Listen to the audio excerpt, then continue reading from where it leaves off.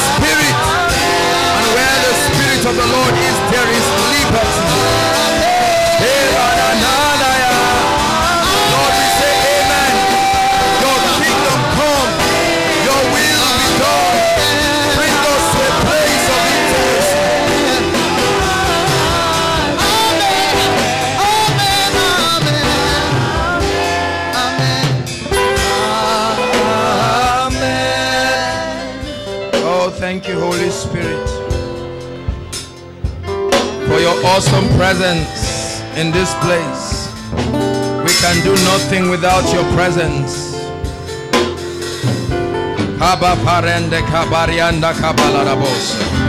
You are the only one who releases miracles. You're the only one who transforms lives.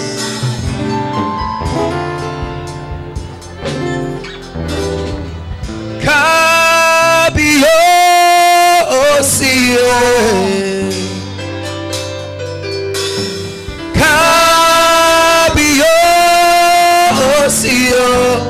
sing it to him. You're the God. You're the God of the heavens and the earth.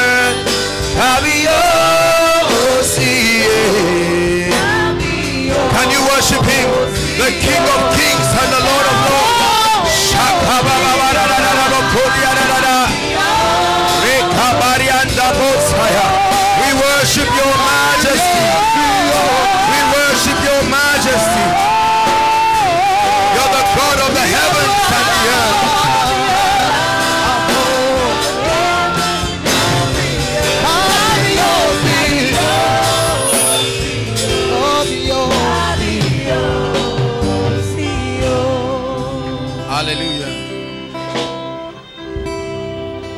For you are bigger than what we say.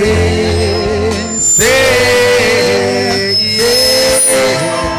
You are bigger than what we say. Come on, just worship him. This is part of the meeting.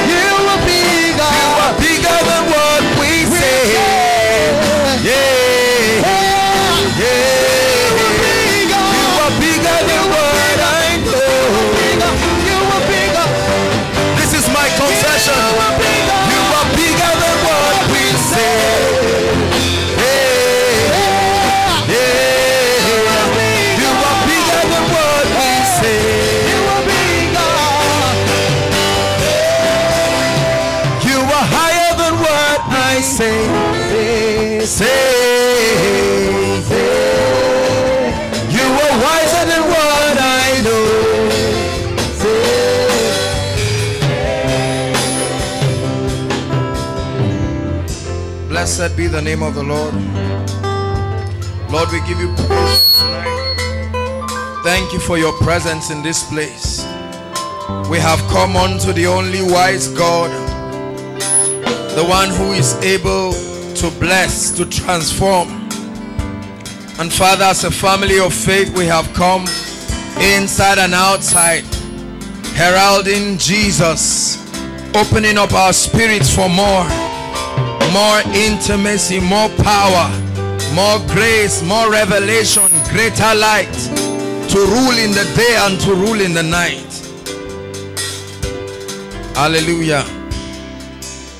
Hallelujah.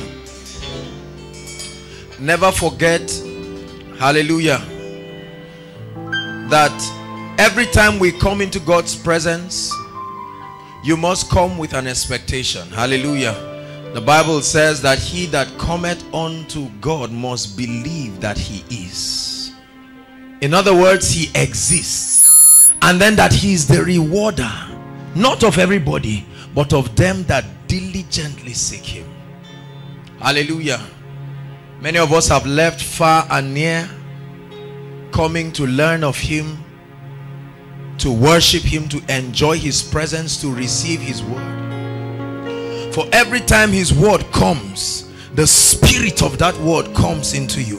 And it sets you, it says in Ezekiel chapter 2 verse 2, he said the spirit entered me when he spake unto me and set me upon my feet. The spirit entered me. You're not just hearing words.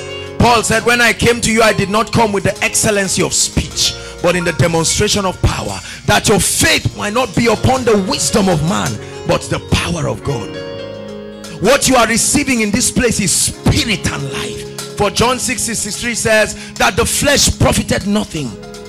It is the spirit that quickeneth. Say the words that I speak unto you they are spirit life capable of making you become the what the word of God is saying. And he made two great lights.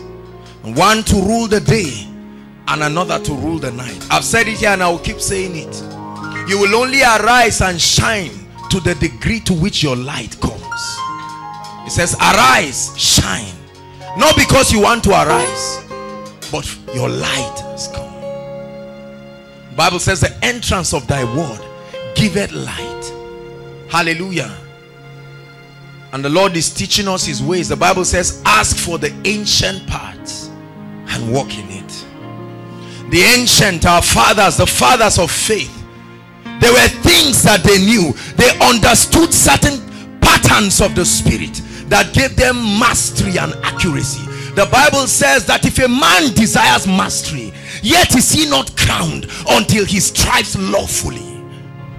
It takes a level of diligence and tenacity, understanding the principles and the ways of the spirit. And then when we understand his ways, we will come into alignment with his spirit so that it will be in the earth as it is in the heavens. And then the world will know that we are not just noisemakers the world will know that we are not just tongue talkers. They will see that there is something that is the bible says there is this treasure and is resident in earthen vessels that the excellency of power may be of God and not of us. Great men doing the works of God it says we have been created in Christ Jesus. We have been called created preordained predestined that we should show forth revealing his majesty and his glory. And God brought every one of you to learn of the ways of the spirit. Hallelujah. The ways of the spirit brings to end confusion because it takes education and orientation by default. As a result of the fallen nature many people began to come up with their concepts and ideologies of how to live and reign in God's kingdom. If you want to function and be effective in God's kingdom then you must understand his ways his patterns. The Bible says the nation of Israel saw his acts the manifestations of power but Moses knew his ways. And tonight we have a prayer. God teach us your we don't just want to see the power. Show us from the archives of the spirit. How did the fathers tread this path? How did they come into alignment with the kingdom that elijah will say that i that stands in the presence of god? How did the psalmist understand the pattern of entering worship and coming into the presence of god? He said in psalm 100 he said enter into his gates with thanksgiving. How did he know that the throne room had gates and courts Open our eyes, oh God, that we may see. We are tired of religion. We know that there is more. Save us from the arrogance that lack of light brings to the body. Bring us to a point that our eyes will see. And let me tell you something.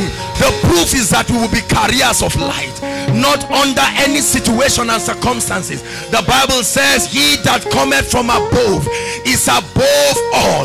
He that cometh from above is above cosmos the system Babylon the system that aims to subject people and bring them under the bondage of Satan. The Bible makes us to understand in Romans chapter 8 from verse 18 it says for I reckon that the sufferings the constraints that our rehearsal and dealing and pressing I reckon that the sufferings of this present time are not worthy to be compared with the glory shall be revealed in us then verse 19 says, For the earnest expectation of creation. They are not waiting for everybody. They are waiting for the manifestation of those the Bible calls the sons. Let me tell you something. Hold on. There are many words that are used as sons, but there are two important ones. One is called teknon. The other one is called huios. Teknons mean it means a child, one who is void of knowledge. Huios means one who by reason of understanding has attained the same status with his father. So when Jesus called himself the son of God, they said he was God because he used the word huios. He said by reason of understanding, I have been elevated to a position where I can function in the God class. Grant us light, oh God. Grant us light. We are tired of darkness. We are tired of the world asking where is our God. Grant us light. For the entrance of your word brings light. And Lord, cause our hearts to be simple. Give us understanding. The Bible says, in all thy getting, get understanding. Exalt her and she shall promote thee. She shall bring an ornament of glory upon thy head when thou dost embrace her. He said, Does not wisdom cry? Crying in the streets, searching for as many who can be interested. We live in a day and age where all we want is hype so that we just jump and rejoice. Let me tell you, that's not the way of the spirit. Everyone who has attained mastery knows that there is no glory without a story. There is no there is no increase and lifting without a constraint and a building. If you came here just to jump up and get excited, you can pack your Bible and go back. This is a school of the spirit where the word of God will radically put a paradigm and shift you until you come into alignment with the kingdom. Then at that point you will legislate as the king that you are. Has nothing to do with ministry. Has nothing to do with titles has nothing to do with prophet or apostle has everything to do with the revelation of your position and your degree of alignment in the spirit you are lord you are lord. You are risen from the dead. The light is shining tonight. Causing the veil. The bible says until today as they read moses the veil is still covered in their eyes. Can we can we sing that song just one more time? You are lord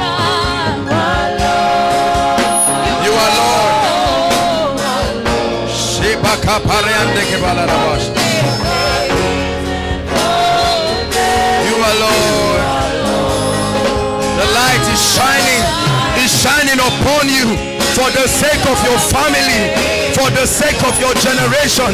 Obadiah 21 says saviors shall come out of Zion.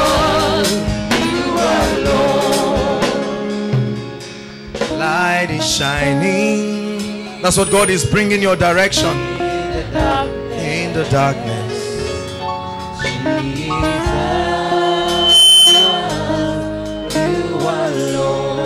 Hallelujah. God bless you. Please be seated.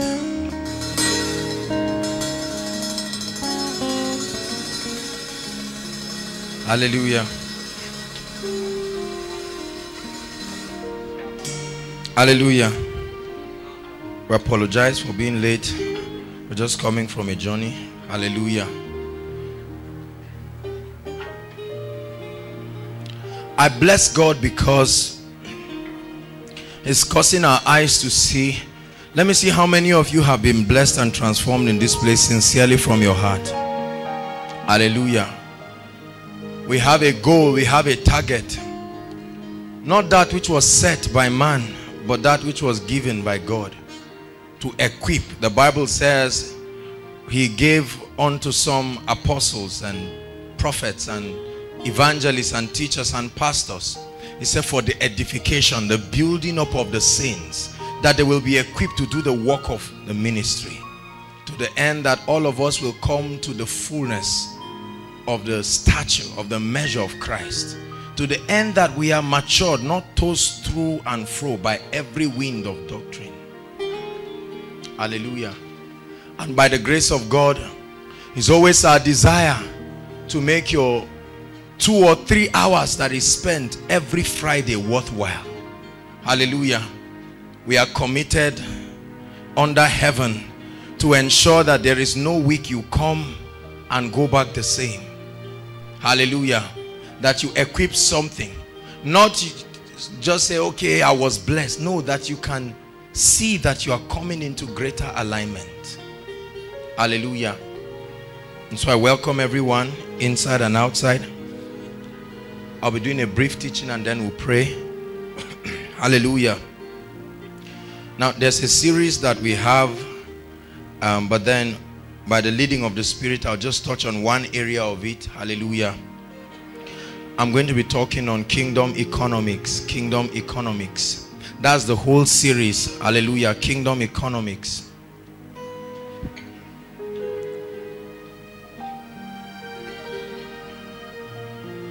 Kingdom economics is the whole series. But tonight I'll briefly be talking on financial freedom. We've not done any teaching that has to do with finances. And so it's very important.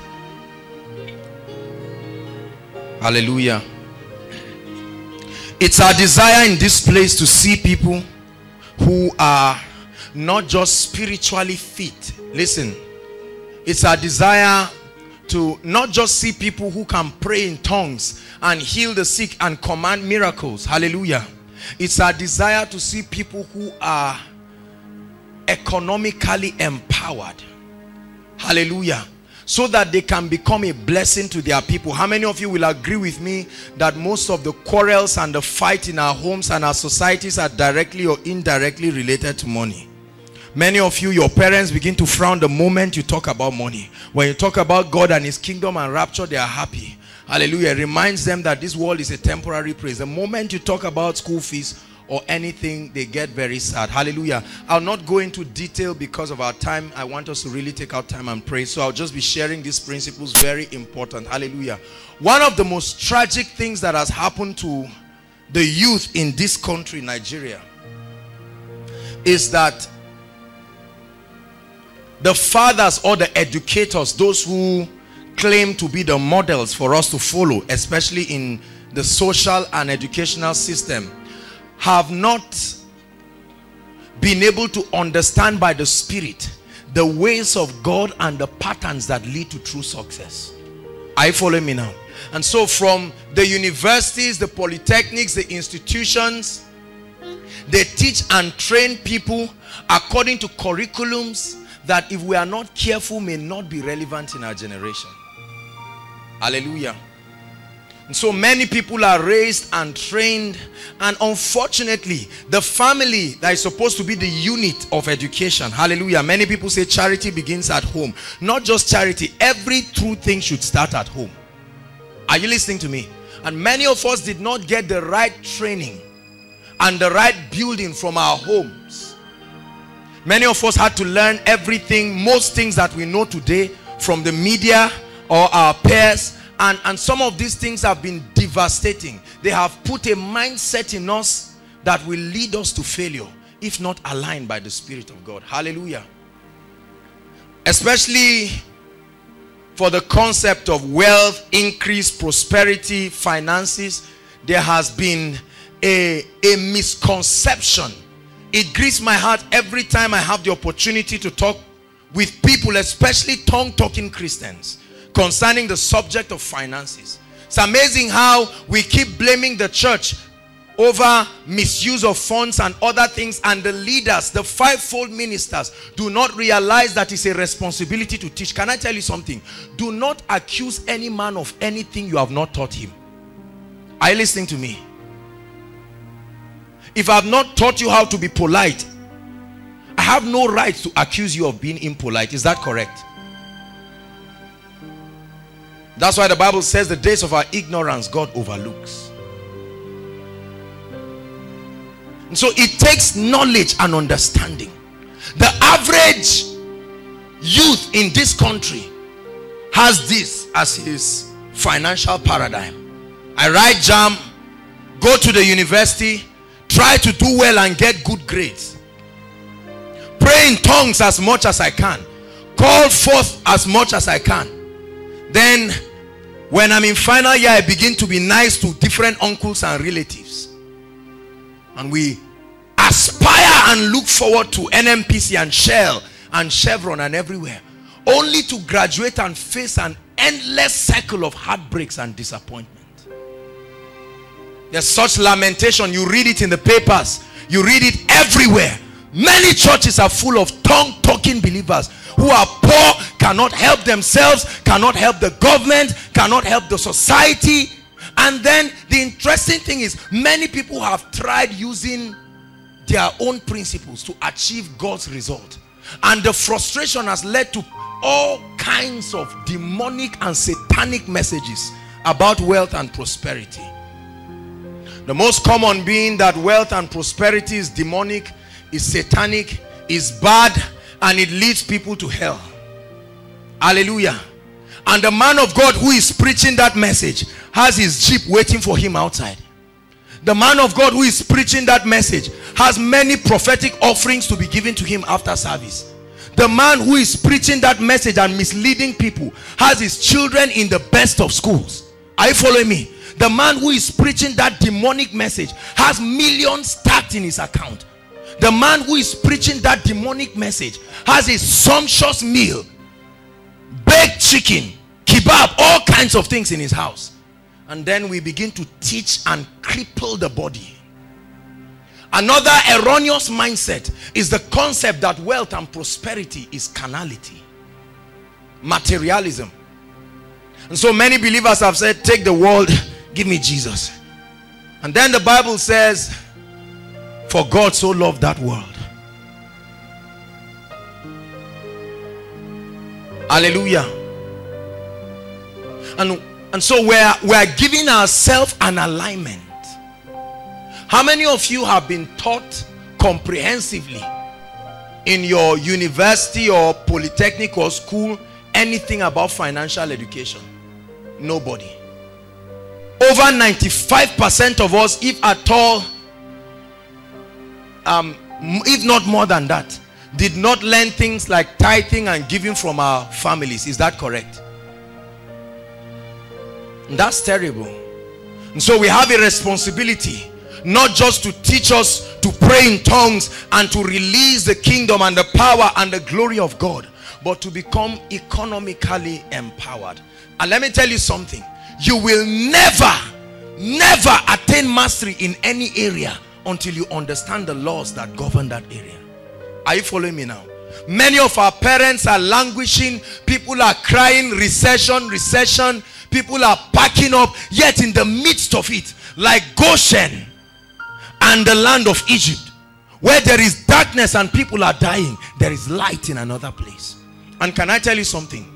We will be wicked people if we do not teach you on economic empowerment. Because you know what? I've seen more believers backslide because of money than as a result of sickness or cultism and other things. I've seen more ladies give themselves because of money. Am i am i ministering to someone tonight? We trivialize it as if it's not a spiritual issue. I've shared it here. I'll never forget some years ago when a lady shared with me how her mother was forced to sleep with the manager of her company because they were stranded. And it happened with the permission of the father. Now please keep quiet. Be don't be saying god forbid. Before you roll your hand over your head sit down quietly get your notebook. Otherwise you'll be liable of doing the same thing. I need you to know that the parents of this dear lady were not stupid people. There is a way you how many of you have seen your parents do things that you know this is not them the constraint that the present recession a true apostolic ministry must learn to address the societal issues at the moment. Any true apostolic ministry cannot shy away from the realities that on ground. How many of you do not know that the world is in a recession? Let me see your hands. Hallelujah. Banks are being merged. How many of you know? Banks are, i mean banks that used to be the confidence of everyone. Ah and we must be taught the ways of God. Otherwise we will sustain casualties in our lives. But when we know of the way of God when men say there is a casting down we will say there is a lifting up there are many of us who have been praying in tongues, praying in tongues, and our families hate us. All that you do when they're having a family meeting is for you to start the prayer and close it. Every discussion in that family doesn't concern you. You are trying to legislate the counsel of God and they look at you and say, what have you done in this family? The church is where we are today, not necessarily because we are not praying in tongues. We have not been able to come up with a level of empowerment that will affect society. Are you listening to me? We still have the church running up and down at government houses, begging for loans, begging for schemes, begging for all kinds of things. The church has turned to be beggars, begging everybody for everything. Hallelujah.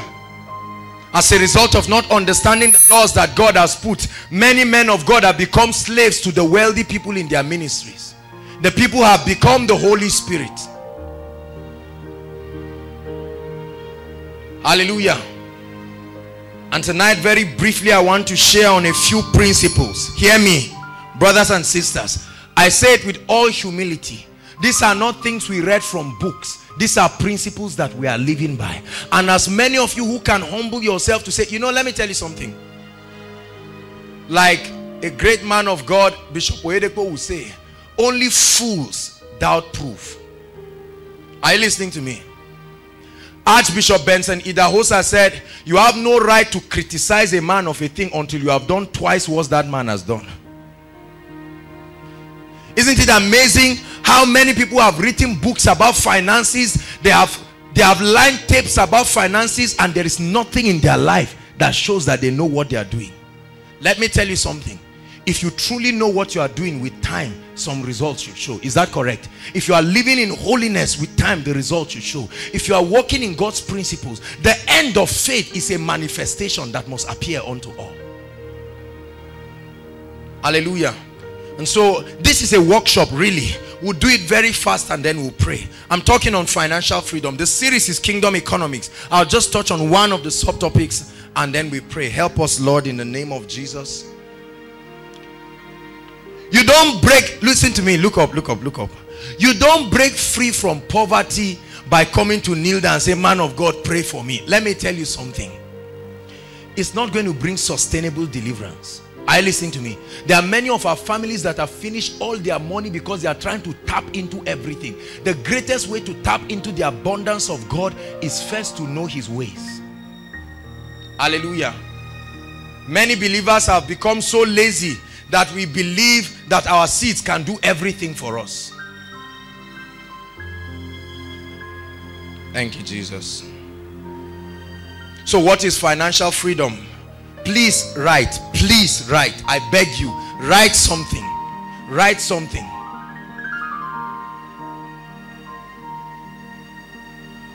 Write something. I remember a man of God, Pastor Chris, was sharing something and he said that a a very successful businessman was speaking in a seminar just training students. Hallelujah. And then he was speaking on certain ways to be financially free. And when he began to speak the students were objecting. And he noticed there was a student who was always saying excuse sir this is not what our lecturer taught us. And then at a point the man got agitated and said young man stand up. He said is your lecturer a millionaire? He said no he said, are you a millionaire? He said, no. He said, sit down. I am a millionaire. I'm telling you what the market is doing. Keep your theory and keep all your old junk and listen to me. Sounds like many believers to me. The moment they begin to talk, open to Deuteronomy, they say, ah, power to get. How has it changed your life? It, there's nothing that irritates me as an arrogant person who has no result. Hallelujah. And we have lots of them in the body. We claim we know. One thing I have learned is that when I see someone that has something and has seen a dimension that I've not seen, I humble myself and press into it. Hallelujah.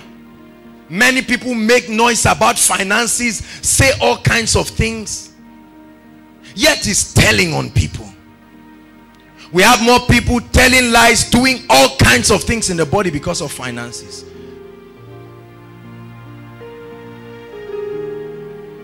But the Bible says, I wish above all things that ye may prosper and be in health, even as your soul prospers.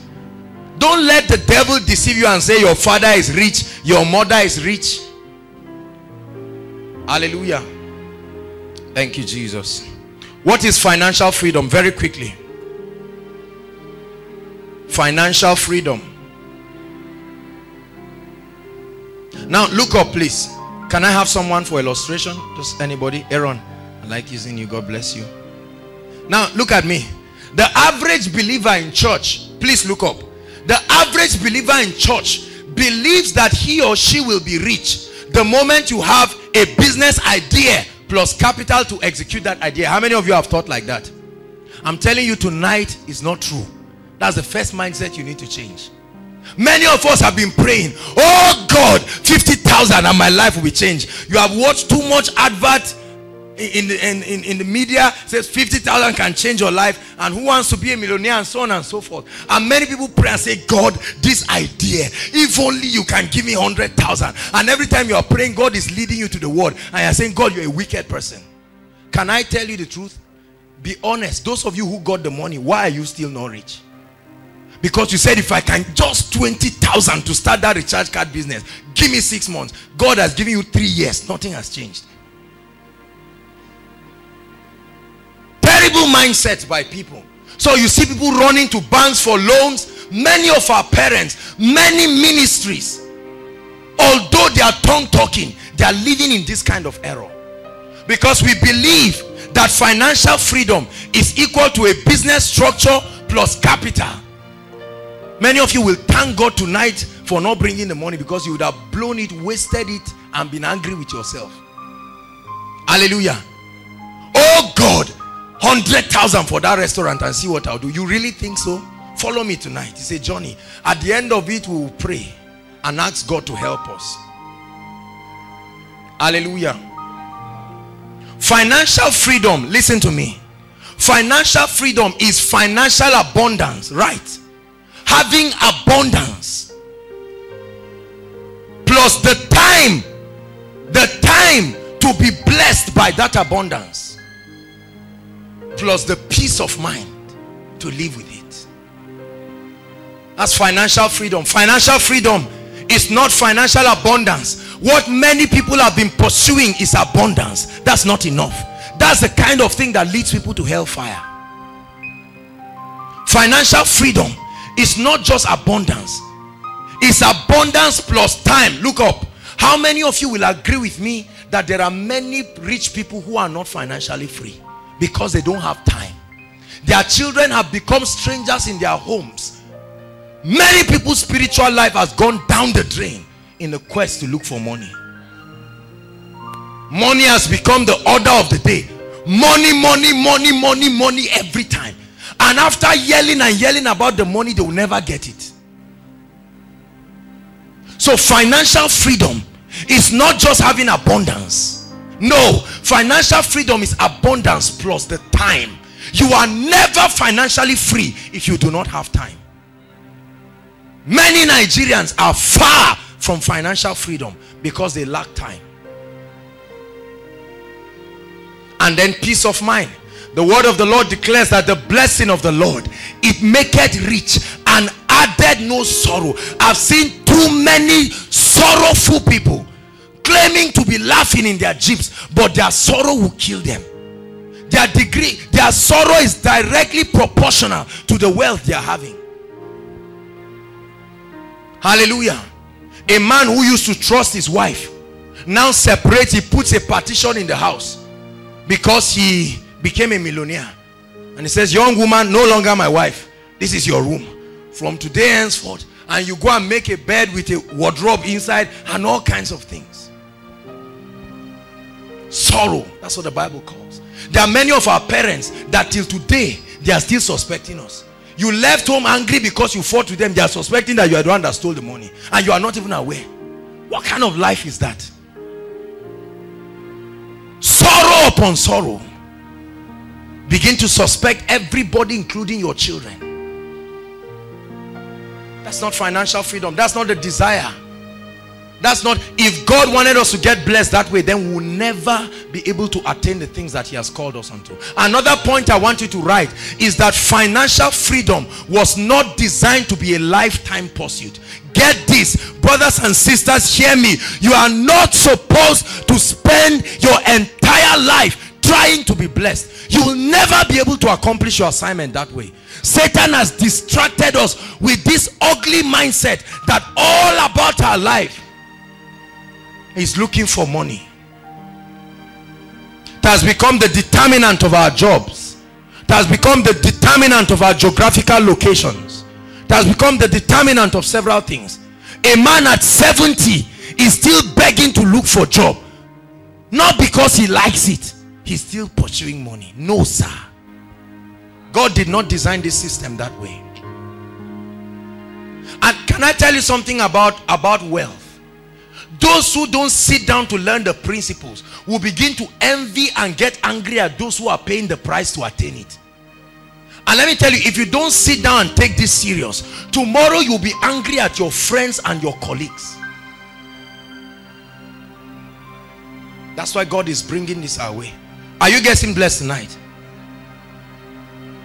There are two important factors that must be at work in your life for you to attain financial freedom and that's where we are starting tonight. I love doing this teaching timeless principles. Number one why are people poor? Why are many believers poor? Why won't god just open up the heavens and flood it with cash why are many tongue-talking believers? Why are some of us still struggling with our school fees? Our parents are still struggling. They've been trying to build houses for donkey years. It has led them into all kinds of things. We have called all kinds of people to come to our house to collect the remaining money that is left all in the name of praying with with all kinds of candles and garbages in our house. The bible says that they know not neither do they understand he said so the earth is out of course. I'm trying to provoke someone tonight to the end that we will pray. Hallelujah. Number one you will never become financially free. Not according to the kingdom's way if you do not see the need. That's the first point. There are many believers who do not see the need there are many ministries who do not see the need every time they raise the subject of financial education you see this spiritual atmosphere that people put and feel no no no don't we are pressing into god there are new dimensions and let me tell you something. There's an error I've seen in the body. Many believers just believe that you just keep praying in tongues and you are praying and then one day the heavens will be open over you. Let's finish up this this story and you find out that many people are going to be disappointed after 10 years of serving God diligently. Question. The Bible says Jesus Christ the same yesterday, today and forever. Is that correct? Look up. How many of us can bear me witness that there are many of our parents who were campus fellowship presidents some of them are pastors they've been praying in tongues for years and they are still poor can anybody agree with me on that why is that so there are even many of our families that have not missed out on tithing and giving for once but they are still poor. How many of you have been tithing tithing tithing? It's just that you don't want to say it. But it has been paining you because it looks like something is wrong somewhere. And can I tell you something? The error is not from God. It's certainly not from God. Open our eyes tonight Lord. You must see the need so many believers do not see the need. Every time you're talking they have this air of ah I'm a lady. I'm going to get married to a rich man. I've, I've made up my mind. Let any poor man carry his, his his promises and come close to me and see what I'll do with him. There's no manifestation. Pack your load and go. Wrong mindset. Got it from culture, got it from films, got it from all kinds of things. You must see the need. What does a need do to you? Number one, a need creates dissatisfaction. The Bible says, woe to them who are at ease in Zion. You can never break through a process until you get dissatisfied. Hallelujah. You must get dissatisfied. You must get dissatisfied. Get dissatisfied with the fight and the quarrel that happens between your father and your mother at all times. Get dissatisfied. The Bible says through desire, Proverbs 18 verse 1, a man having separated himself, he intermeddled with all wisdom. There must be a desire.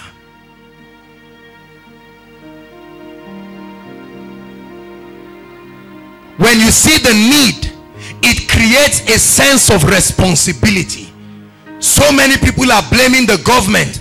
We blame our parents. We blame the government. Ah they are chopping our money. They stop giving us scholarship. If that they were giving my mind would have changed. Or my my lifestyle and all of that. I would not have been sleeping around. Calm down. You truly begin to break through in any area when you stop blaming people and accept responsibility. Say after me inside and outside in the name of jesus. Please say it like you mean it. In the name of jesus i stop blaming people I take responsibility over my financial destiny. One more time. Say, I take responsibility over my financial destiny. Yes. A need brings you to a point where you, you stand to take responsibility. Many of us are waiting for our parents to die. We are praying and anticipating. On their deathbed, we come to visit them, but we can't wait for them to die because we are waiting for something they call inheritance. And before a man would die, the, the in-laws and the parents are already arguing about how to share things. Hmm. Number two, or still, still on that point of the need. A need breaks every limitation. The moment you see a need for something, limits will be broken in your life. Hallelujah. How many of you have gone for lectures in the rain? Let me see your hands. Ladies, how many of you have exposed your hair to the rain, but you still didn't stop? You just ran for lectures. Why? When you see a need, you will not see limitations again. So many people see limitations. And the reason is because they have not seen a need. We are waiting for the day we inherit wealth from our parents. My father told me, as soon as I'm graduating, a Lexus will be waiting for me and one two bedroom I've been eyeing. And your whole life is built on that mirage. The word of God declares, hear me, woe unto any man who puts his strength in a man. That man can be anybody. Your father, your mother. You know that song? Um, your father may let you down. It's not because he's a wicked man. Your mother may let you down. Even you yourself, you will let yourself down. The best and the greatest of any man is still a man. I told myself, I will lift up my eyes to the hills from whence I, I, I gladly retired from putting my strength Hallelujah. Hallelujah. So the first, the first factor is what? You must see the need. Say after me, I see a need to be financially free. Number two, when you have seen the need, the second point is you will go for knowledge. The second point is to go for knowledge. You will never become financially free just by guessing and stumbling your way into it. A great man said something. He said, if you wake up and find yourself rich, be sure you were not sleeping. Hallelujah. Many of us have this mindset that, oh, God, one day, one day, we have been receiving things that are hanging in the realm of the spirit for donkey years. But the Bible says, let it be done in the earth as it is in the heaven. That means it is possible that although a thing is in the heavens, but it cannot be done in the earth. Hallelujah. Go for knowledge.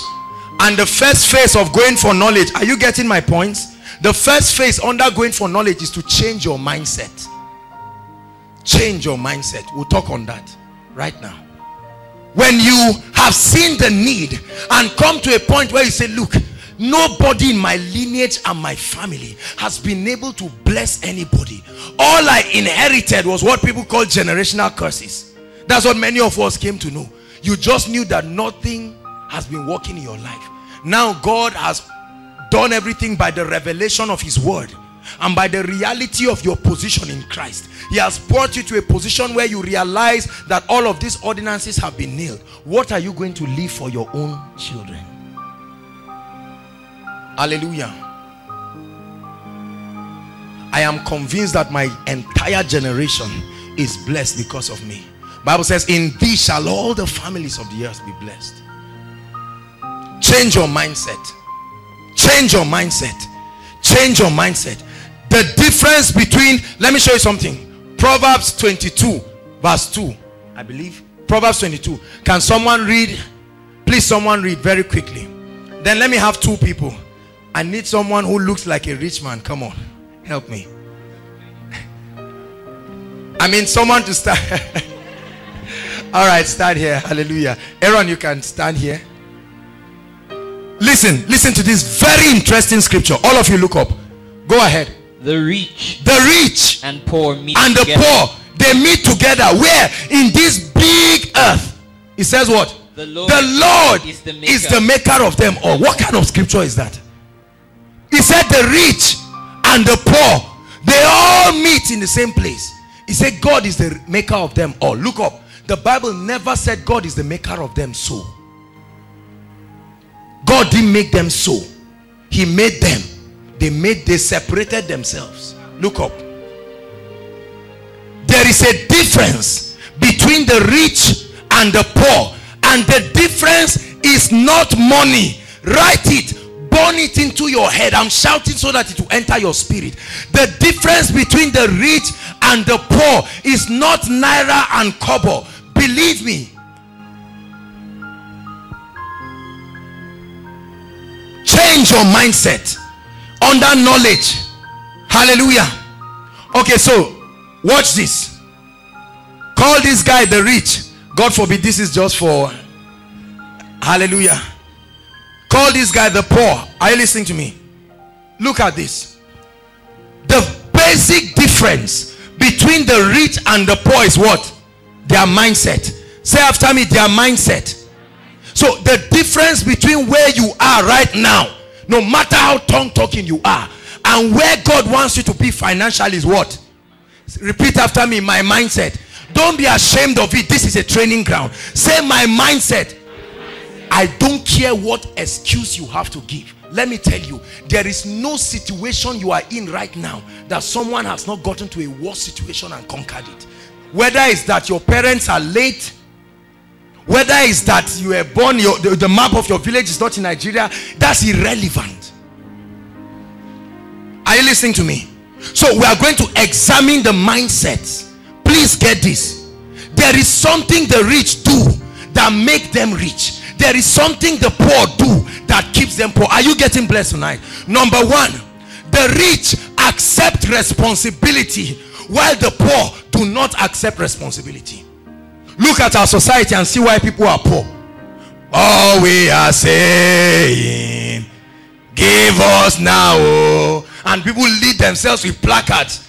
How much? To 2,000. And they stand from morning till night. Go to offices of influential people and see a row of people waiting to seek for favor from morning till night. Say, oh God, well done. No, I've been trying to. I was wondering if it was possible to say, and the man said, "Mm, I'm busy. The poor, the rich hate the poor. And said, Leave me. I said, Oh God, well done. no." And you see the guy running and his and his children. How many of you have seen your parents do that kind of thing?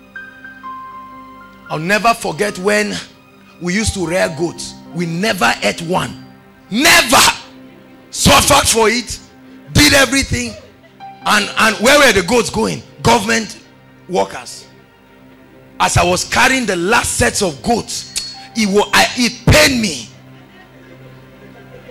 Because the Bible says a, a, a worker is worthy of his wages. You work so hard only to make the rich richer. Isn't that amazing? The poor work from morning till night. While they are working, the rich are playing them like a chess.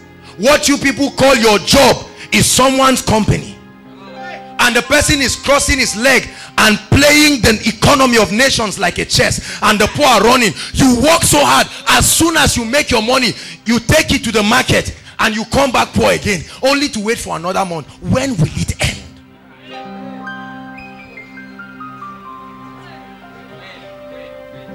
The poor work so hard so hard and take the money to the rich so what's their difference? Number one, this guy accepts that I'm responsible for my finances. Yes, my parents didn't try. Yes, the government didn't try. But I take responsibility. This guy is accusing these people and saying, Hadibim is my uncle. My uncle got that charm. Abba, I done work here. You think so?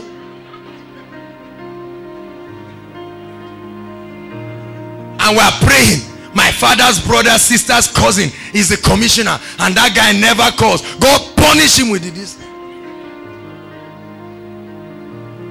hallelujah number two This is one of the biggest point between the rich and the poor. As you write it, underline it. The rich have mastered the art of delaying instant gratification. Paying the price today to enjoy the blessings tomorrow. Poor, they don't like delaying instant gratification. Sharp, sharp. Now, let's chop today and die tomorrow. That's the mindset of many Nigerians. That's why we like all kinds of things. Get rich quick. This and that. There's one way. Bring 1,000. Go under the bridge. In the evening and come. I'll give you this. We like things that don't have processes. Hallelujah. But the Bible says seed, time, harvest.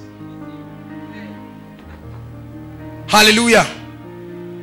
So the rich know how to delay instant gratification. I've said it everywhere. That's why I love Igbo people. Oh, no, no, come on. Don't think what you think I'm thinking. I said this during Kingdom Wealth Summit. Come on, I was innocent. Hallelujah. Amen. Because they have mastered the art of delaying instant gratification. You see a young man, they just give him scholarship 50,000. And then he carries the BB thing, Blackberry, 40,000 out of 50,000. What you have home and abroad. Give me your ping number, your ping ping that is driving people crazy, especially ladies. All around, give me this. It looks like that's a happening thing. Give me Blackberry. And you squeeze life out of your parents. You must give me that 40,000. They say we are traveling to, to Cameroon. You have not gone for how many years? You have been gathering Cameroon money. Then you finally buy the Blackberry. And then you don't have the amount to be recharging this every month. Say, sorry, what's wrong? Say, this phone, you know, all these kind of things. I hope to change one soon. There are so many people who have put themselves under stress because our concept of finances is that get, spend, just get and spend. And we guys know how to do that. Hey, guys, I don't hammer. Oh, yeah. And all the psychophants who are out to finish your money will follow you. Then you go to Peter's. Say, oh, yeah, help yourself, Jerry. Can I tell you something? No matter how much tongues you pray, God will never empower you beyond your level of managing his resources. Never. God will never empower you beyond the level to which you can manage his resources. Because the earth is the Lord's. Doesn't belong to you. Are you getting blessed? Instant gratification. How many of us have been feasting on the seeds that God has given us. Can I tell you something? This is God's principle. God will tell you, Selena, run down there and you will meet a great harvest. When you run to that farm, you will see a bag of seeds with wisdom to turn that seed into a harvest. You say, Lord, where is the harvest? God say, right there. That is it. Many people do not understand God's system. That's why we get disappointed. Help us, Lord. Number three, the poor spend and spend while the rich save and invest. I cannot tell you how I feel sad over many church people. We know how to shout and call forth wealth and that's important. If you have not been calling forth money, brothers and sisters, believe me, get set. You are violating a serious kingdom law and you are going to remain poor. Say, ah, when my uncle has told me in the come, okay. Oh. We have warned ourselves in this place to stop depending on men. Doesn't mean that God will not use men to bless you. Hallelujah. The poor spend and spend. Isn't it amazing that those who are the richest in this environment are the ones who are modest and visionary. Those who are the ones loud and doing all of these things, they really don't have much the pressure of trying to prove a point. I said it during Kingdom Wealth Summit. I was, I was taking an extract of this. Many ladies, you are changing your weave on every week. giving an impression like you're a multi-millionaire and you know you are not let me tell you something about pretending a status you have not yet attained the day your money finishes you will be forced to still maintain that status although you don't have the means you have sworn hellfire for anybody that eats in zinc house. Now your fortune has gone. Your father has told you because you are stubborn you will not give you money again. You are hungry you are dying. The holy spirit is advising your guy enter this zinc house.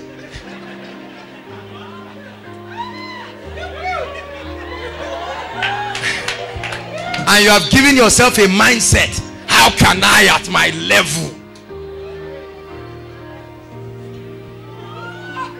not so. Look up. Let me say this. Are you getting blessed tonight? Look up. Please let me correct something. Money can come through favor. In fact according to god's economic system all right there are many ways that money comes. Remember 2009 10 10 kingdom wealth summit money cometh. Hallelujah. Money can come through favor. Let me give you an instance. God can tell me say josh sow 10,000 naira to Reuben's life. That's favor right? Strangers can come and feed your flock. That's favor. Listen to me. What we do not understand is that money does not grow by favor. Money can come by favor. Money cannot grow by favor. There is only one biblical way of increase and multiplication. Say after me investment. Say it there is only one biblical way of multiplication matthew chapter 25 matthew chapter 25 i'll try to really really be fast quickly let's turn there matthew 25 Thank you, Lord Jesus Christ. How many of us are seeing some light over our finances right now? Thank you, Lord. Matthew 25. If you are there, say amen. Okay, verse 14. Matthew 25, 14. Inside and outside, make sure God has your attention tonight. This is very important. For the kingdom of heaven is like a man traveling into a far country who called his servants and delivered unto them his goods unto one he gave what five talents talent means money many people say it's gift no it's not gift it's money exactly that to another he gave what to another he gave what? He says according to his ability and straightway he took his journey. Hallelujah. Read verse 16 everybody. One to read.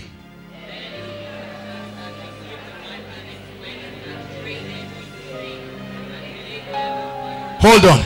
He went and invested. The word traded there is he did business.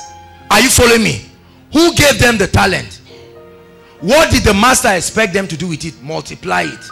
Correct? And the bible didn't say they hold they held their hands together say are you ready? Oh yeah fire. And then they started. Bible says they went and did business. Are you listening to me? Hmm. help us oh lord.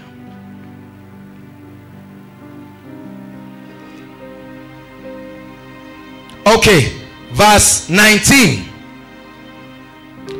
after a long time the lord of those servants cometh and reckoneth with them. 20 and so he that received five talents came and brought what?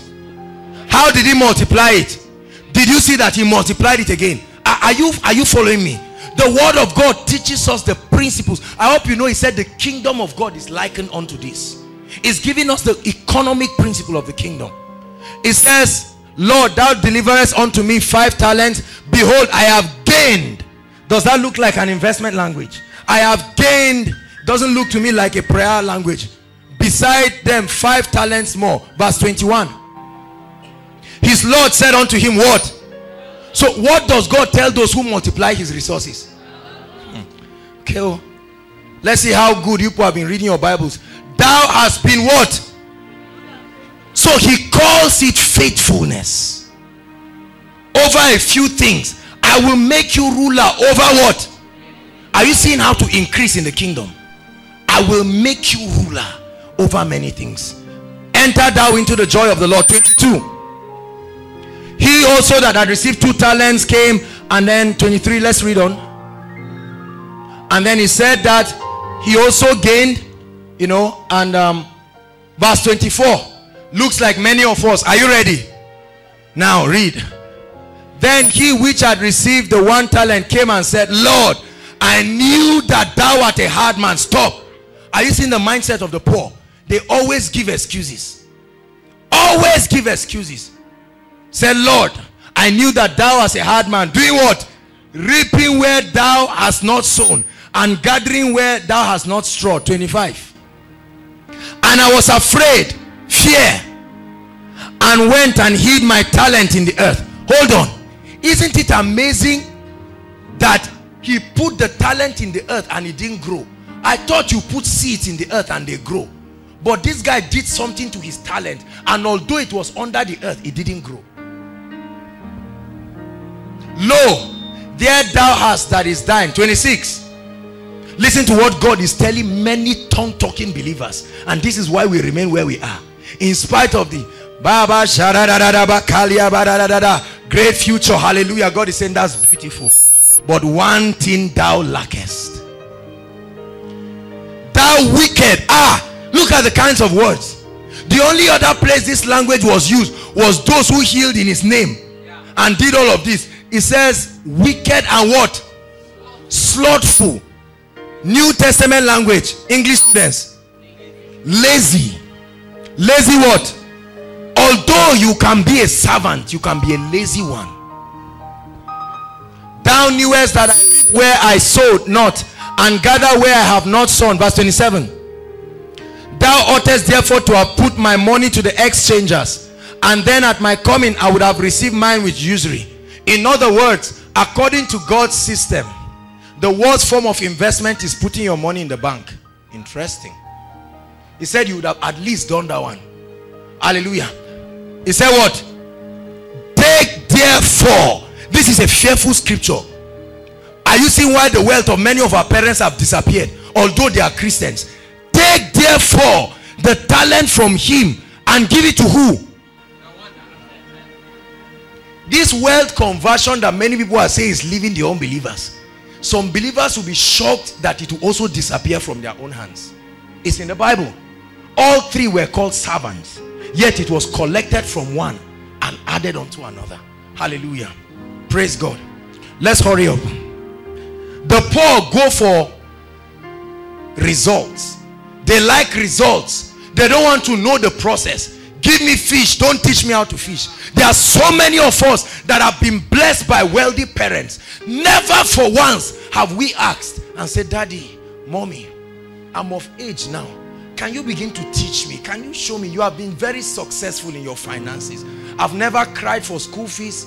I've never begged. Can you teach me? What did you know that brought you this game many of us are always happy. We have been privileged to be with people that can bless us. We have never taken out time. Hallelujah. The poor always like results that's why many people in the village are always fighting those in the city. They are always waiting for those in the city to come. And then they dance around your car expecting what? Give them something. Then you give them 1000 and they finish it. Or some of our relatives that are causing trouble in our homes. You give them 10,000 today they call you after two weeks. They say oh guy it has finished. Of course. Say send another one. Then when you don't send they say this wicked guy. She means your wife that has carried you away. She's a witch where will we end all this nonsense? Amazing that it happens in the church too. Hallelujah. The rich keep learning. A rich man is not interested in results. All of this flamboyancy that people do. You see someone with a jeep and you're like hey i want that jeep anyhow anyhow. No. There are too many people that are after results the results are inevitable when you know the principles hallelujah hallelujah the poor depend on luck have you ever heard people say that thing? How? Nigerians are lucky. Oh, it's my luck. Oh. Say MTN just came to build a mast on this person's land. He just bought one plot of land. MTN came to beg him and they are giving him 300,000 naira every month for using his plot of land. When the Holy Spirit was telling two of you, go and buy that land or go and do this. The other person will say, Abba, I will buy, I will buy car. You bought your golf as you were going out, somebody jammed it. It's still parked there.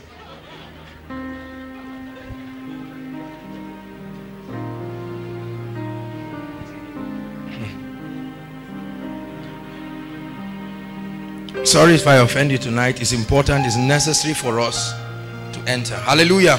So, are you getting the mindset now?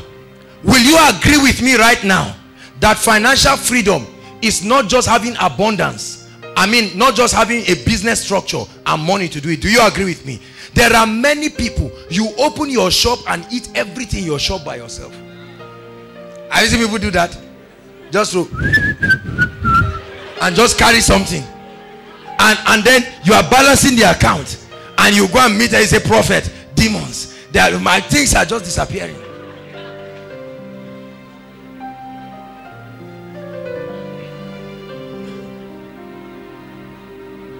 You have poultry visitors ah carry 10 chickens give them. Now you, you forget that those things are reducing. The point you come and call your wife madam come. What is happening in this poultry then you see your son simply because he has not been smiling. You say come here. You have started joining bad friends Abby go and bring the remaining your son say what is there? Before he talks you are giving him look this is this is you are laughing but this is the story of some of us here. But God wants us to change. So let's hurry up. Change your mindset. After changing your mindset realize that God's economic system works on principles. Oh, help us, Holy Spirit, that we get this. It's not guesswork. It works on definite principles. Hallelujah. I'm going to talk about just three laws very quickly. Three laws. Number one, the law of value. Right. The law of value. The law of value. Take it seriously. The law of value. Look up, please. Look up. Please, I want everybody to look up. This guy sells recharge card, for instance. Is that correct? Um, let's say this guy sells electronics. Look up. Because I do not produce what they sell, if I want to get it from them, how do I get it? I exchange it. So who will be getting the money? Those who have the products. Is that correct? The law of value. You must add value to yourself and you must have something to offer. Otherwise you will remain poor. Wealth is for those who have something to offer. What do you have to offer? That was a question the prophet asked the woman in Second Kings chapter 4. He said, what do you have in your house? The law of value. Look up please. I see so many believers who pray. That's wonderful. Confess God's word. That's wonderful. But I do not see us investing in knowledge to know the principles. I want to provoke all of us now, inside and outside. How many of you this year have bought books on finances by kingdom people? Books on finances. Let me see your hands. Don't feel bad. You will not go to hell. So do you see that it's not God's fault that we are where we are? Come on, no, nobody is condemning you tonight. We're in a school. Is that okay? We are provoking ourselves. Hallelujah. The law of value. Let me say something. I respect, although I am sorry because their wealth is soon going to leave them. All of the people who are not wealthy by kingdom principles. But these people sit day and night. This is what the rich do. The rich always get knowledge and the poor are just searching for anything they can search where to patch and manage. They were managing here. And then the rich have the knowledge of the system. Many of us do not refine ourselves. Look up. The bible makes us to understand in esther chapter 2 that although esther was already a beautiful lady are you listening to me? Was she qualified to stand before the king? Although she was beautiful but she needed to do what? Develop herself. There are many of you that have been given potentials and talents by God. Every meeting you go, you still see them shouting this issue of your talent and your potential and the giftings of God in your life. And many of us have not taken it seriously. Hallelujah. The Bible says the gift of a man makes room. Have you read that in your Bible? The gift of a man makes room for him. Steve, please come. Hallelujah. What's his name? Who called him strings? His father, competence, gave him that name. Hallelujah. Are you following me now? I knew when we were roommates with Steve and would come and Steve would be rehearsing on this guitar. He had tapes of many people who had gone ahead of him. Are you following me now? And he would rehearse and build himself. That time nobody knew him as it were, but he was building. How many of you remember David? David had potentials, but he remained in the wilderness. What was he doing in the wilderness? He was building. Many of us get up with our own refined talents and we are angry why the world is not rushing towards us. You come to stand to present a special number and what the keyboardist is playing and what you are singing is different. The keyboardist is playing and then you just raise your song and you are not even aware that you have made a mistake. You are not even aware that you have missed the key. Then you say, I'm producing a debut album. How in the world will I buy your album? Am I provoking you? It's only in the church that we find people who are not competent and think praying in tongues will cover for incompetence. Go for competence. That's what the law of value says. Train yourself. Equip yourself. By the grace of God with all humility. One of the reasons why we are enjoying good sound and all of this thing is because the people in the department are training and building themselves consistently. How many of you have been blessed by the worship team? How many of you have been blessed by the media people? Dio, please stand up. Dio just came back. Hallelujah. He had been on training with um, Frontline Media Academy, hosting some of the best media people around the nation for two weeks. After that, he went to Lagos to have another training. Does he pray in tongues? Answer me. Has he been attending miracle service? Why did he go for training? His article was recently, um, I think so, he was telling me, one of his articles, I hope you know last year, he got the best student journalist in Nigeria. Why in the world will he not get it? The best student journalist. Hallelujah. I need you to know that beyond tongues with all humility, to God be the glory. But one of the reasons why things are working for us is we have paid the price to delay instant gratification and build. Are you listening to me? There are so many things. Many of you may not know. Let me give you an instance with one person. How many of you know that Ejimi is a chartered wealth manager? Don't you think we're just some bunch of visionless pastors who have struggled and tried? I pass here nowhere. I pass here nowhere. I just say, well, let's just quietly do ministry. Hallelujah. Go for knowledge. Provoke yourself. Stop looking for results right now. Go for knowledge. And the results will follow you. Stop looking for results and no, no, go for knowledge. Hallelujah. Day and night, when you come to our house, I say it with all humility. You can ask those who come around.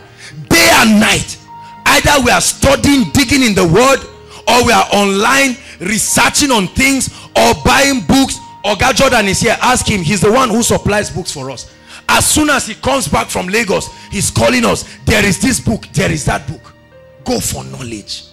Those who are above are those who go for knowledge. Favor is when preparation meets opportunity. Many of you have not prepared yourself. You will disappoint yourself in the days of opportunity. Esther prepared herself for one year and when the opportunity came, she took advantage of it. Bishop T.D. Jakes wrote a book, Maximizing the Moment. we must learn how to maximize the moment hallelujah the law of value sit down build yourself god has told you you're going to have an event management and a catering a catering institute how many world top caterers do you know how many do you know in nigeria? If you cannot list five proficient people in the field you believe god will bless you with i am convinced you are not serious. Hallelujah. Are you listening to me? You want to do interior decor or you want to do fashion? If you cannot list five proficient people who have made it in your field you are not serious at all. Hallelujah. You want to sing you've written 36 songs. And you want to break them into three and release all the albums. Who are the christian artists you know in the world? You don't know. What's the latest album by kotka you don't know. I don't care. All i know is that we have a church with large people. There are plenty people in koinonia. If i release this album now Abba, it will sell. Hallelujah let me say something with all humility. Hope is here. She bakes and she really aspires to bake very well. I have watched her improve. Hallelujah. I have watched i remember a time when she came and met me and we sat down and began to talk and to build ourselves. How many of you are building yourselves? I'm not supposed to be saying this but i'm just saying it to provoke you to challenge you. Hallelujah. How many people are building themselves. Mukhtar is here the chief usher. He has been building himself. He runs a laundry. He runs a laundry. As a student he's the one who launders our clothes. Kenny runs a laundry. Building themselves. And what many of us do is to sit down. You are gisting from morning till night. Let me tell you something kind of mindset is the mindset that has caused many people to be disappointed. Are you getting blessed tonight? So sit down. Tell yourself sit down. Say it sit down. Say settle down and build yourself. The law of value. Go for knowledge. Go for excellence. Be competent. I made up my mind that there is no field God has asked me to rule and reign that I'll be ashamed Bible says study to show yourself approved. A workman we only use it for school and university. What happens when you graduate? Study to show yourself approved. A workman that needed not to be ashamed. Hallelujah. Are you getting blessed tonight? Number two the law of investments. I've said it. The only way money grows is by investment. Many of us have no knowledge of the financial vehicles that are available. Many of us do not know. Highest what many of us know about investment is that you can have a small shop open your have your gari indomie weave on put your little weave on and and and add add shampoo and and then that's all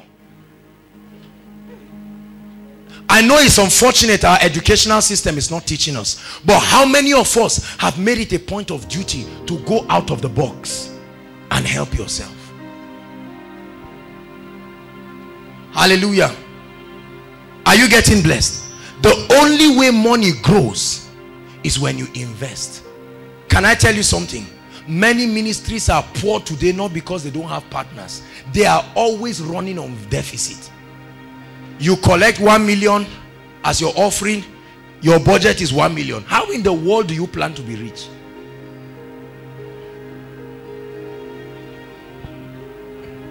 That's why we have people begging every day.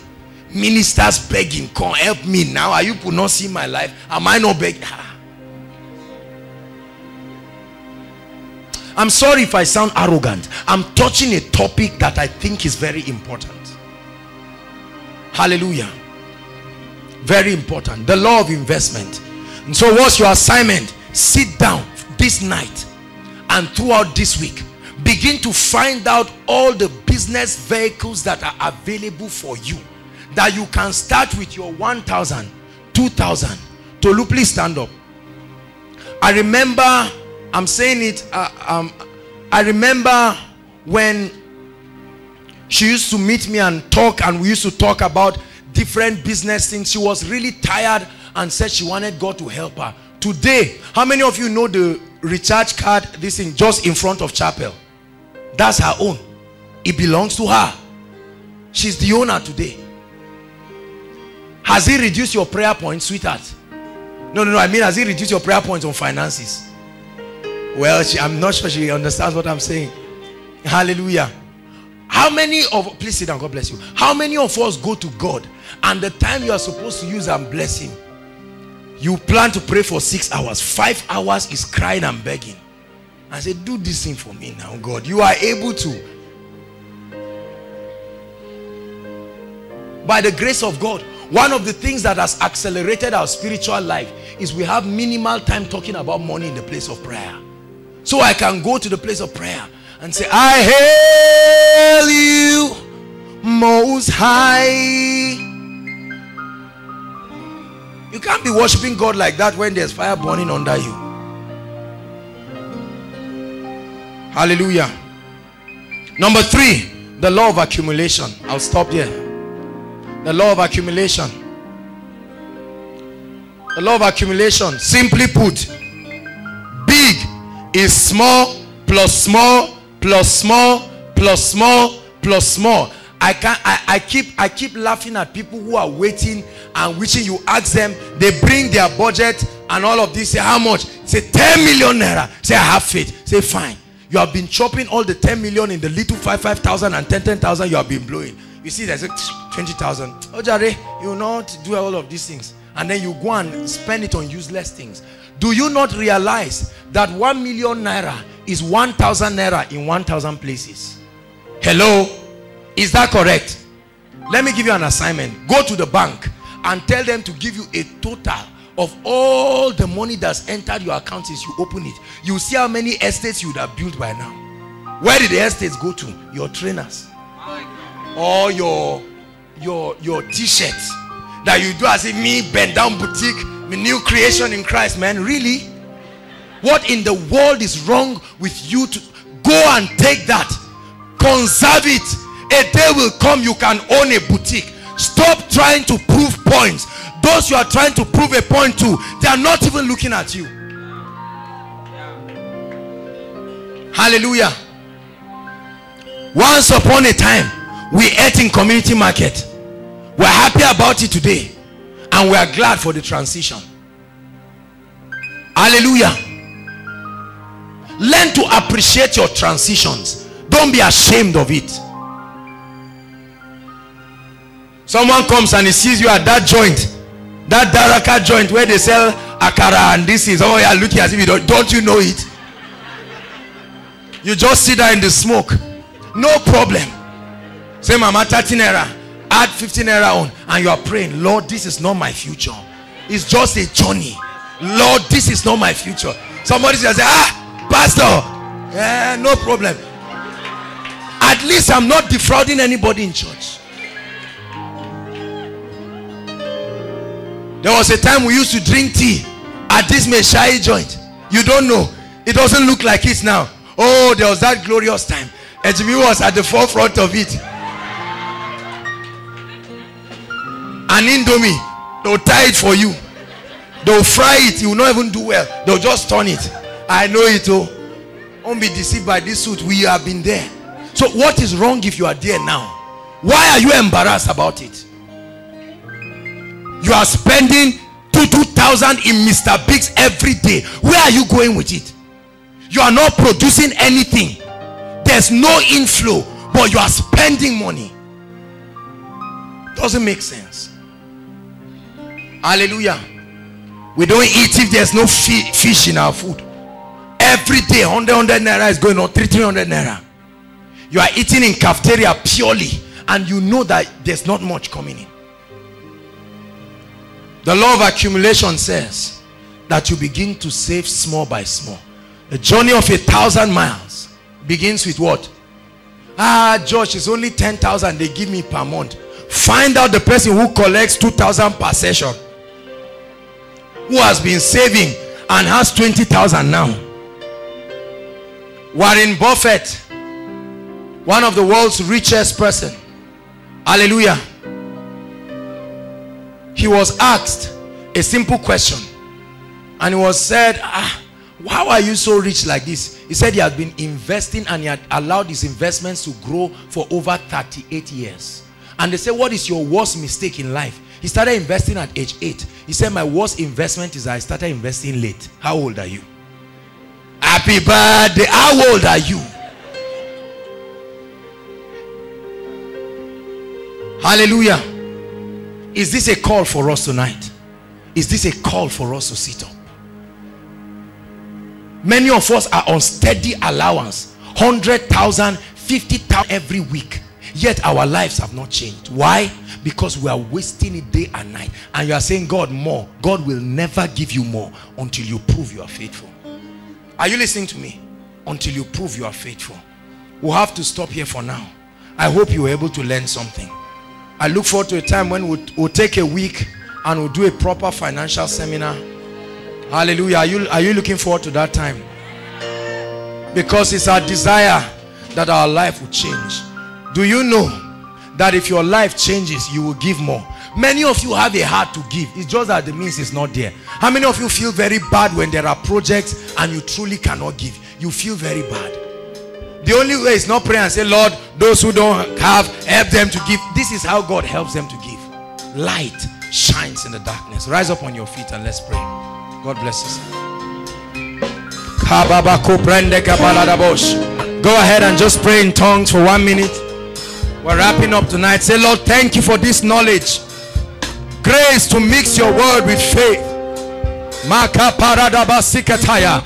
The season has come for me to change my life change my finances. The kingdom will move forward. When you're financially empowered your families will move forward. You will end pain and tears and tragedy in your family. The bible says indeed shall all the families of the earth be blessed.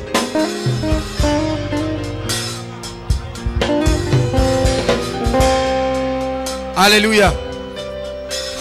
Before i round up let me say this. Malachi chapter 3 from verse 8 to 12 gives us the foundation of a believer's prosperity. Hallelujah. The foundation begins to talk about our tithe and our offerings there are so many people here who are not faithful in tithing. You're not faithful in tithing. You've been hearing about your tithe a 10% and you are you're being you're being deceived. The is this man of god. The bible says ye are cursed.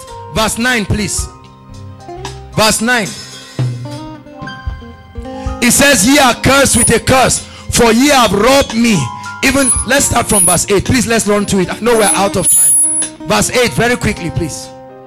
Will a man rob god? He said yet ye have robbed me. But ye say wherein have we robbed thee? He said what? In tithes. So if you don't tithe you're a thief you're a robber. So says the word of god. As a result verse 10 or verse 9 it says you are cursed with a curse for ye have robbed me even this whole nation. Verse 10 bring ye what? All the tithes into my storehouse that there may be meat in my house. He said prove me. Now herewith saith the lord if i will not open the windows of heaven and pour you out a blessing that there shall be no room enough to receive it. Verse 11 it says and i will rebuke. This is the spiritual agency behind the poverty of many families. It's called the devourer. I will rebuke the devourer for your sake and it shall not destroy the fruit of your ground neither shall your vine cast her fruit before her time in the field. Thus saith the lord verse 12 the last verse. And all nations shall call you blessed for ye shall be a delightsome land saith the lord of hosts. There are several of us here we have been praying and fasting and we are not faithful in our tithe. I'd like you to know that you are going to pray tonight and say lord i realize i've been unfaithful. I receive grace tonight to be diligent in my tithing as you add all other laws diligent in your tithing diligent in your giving. Many of us are stingy and greedy. The Bible says, There is he that scattereth and increaseth. There is he that withholdeth more than is meet and tends to poverty. Go ahead and pray. Say, Lord, greed and selfishness. I command it out of my life. I am a giver. I am a giver. I am a giver. I am a giver. I am a giver. I am a giver. Hallelujah. Hallelujah. I don't do this, but let me provoke everyone. Please, I'd like you to bring out a seed. Bring out a seed, everybody. Please just just hold something in your hand. Hold hand. This is for someone who, who can. I need everybody to connect with something. Who doesn't have something to hold on to? I'm serious. Who doesn't have? Come. Hallelujah. Hold on to something. Hallelujah. Please hold on to something. Who doesn't have? Let me just give one more person. We are not trying to get your money, brothers and sisters. I'd like you to bring out a seed. I want to pray for you. Don't you think, I know that there are ministers who are out to cheat people and mislead people. Please, ushers, very quickly, can we have you come up with ushering baskets right in front? Do it quickly, please. We're out of time. We have to do this. Hallelujah. Very, very quickly, please, ushers, run and come. Hallelujah. I want to pray. No, just hold it, stand at the rows and at the eye, inside and outside. We are going to do that quickly please if you don't have a seed in your hand hold the hands of someone who has just connect please don't be ashamed we are very serious hallelujah. We are going to pray and say lord we make up our minds to be diligent in tithing diligent in giving and diligent in abiding by this principle. Lift up your voice and pray. That's the prayer point. Grace in my tithe oh God. Grace come on pray. In my tithe I receive grace to be a faithful tither I stop robbing God grace to be a tither grace to be a tither grace to be faithful God will not rob you grace to be a tither now pray and say Lord grace to give I break the spirit of greed. Go ahead and pray. Many of you are greedy. Many of you are stingy. That's why you will not move forward financially. Say, Lord, I break that spirit of greed. That spirit that will only withhold. Thinking God wants to cheat you. I break that spirit of greed. God is a good God. He will not rob you. Hallelujah. Hallelujah. Hallelujah. Now I'm going to pray for this seed very quickly. As I pray for this seed, I'll drop it. As you drop your seed, begin to pray. All of these points, the law of value and the rest. Say, Lord, this week I sit down. Many of you, God will give you ideas. God will give you things. So please take it seriously. Help. Let's help our families. If they couldn't help us, let's help them. Hallelujah. Father, I pray, lift up your seed.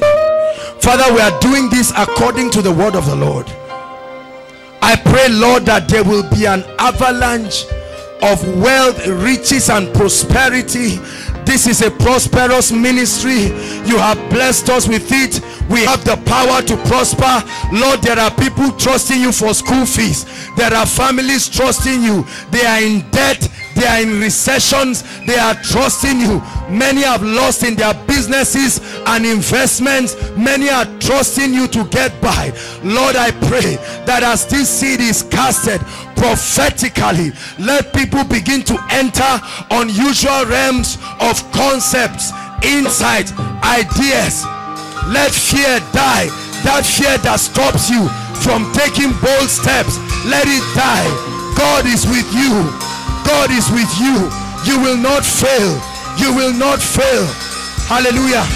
Now go ahead and drop your seed and begin to pray in tongues. Drop your seed and in one minute begin to pray in tongues. Please let's hurry up. We're out of time. As you drop your seed, pray in the spirit. In the name of Jesus. I am moving forward in the name of Jesus. The grace of God is speaking for me in my finances in the name of Jesus.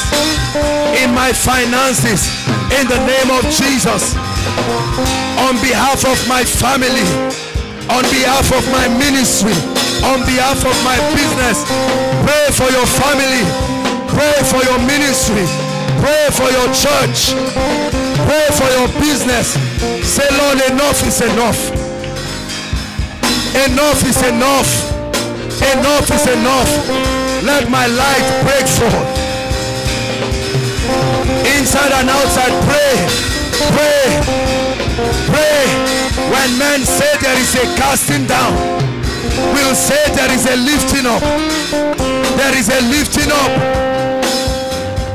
There is a lifting up. Come on, pray. Pray in the spirit. I know we're out of time, but this is important for your destiny. Pray in the spirit. Let the least among us be as great as David. Let the least among us be as great as David.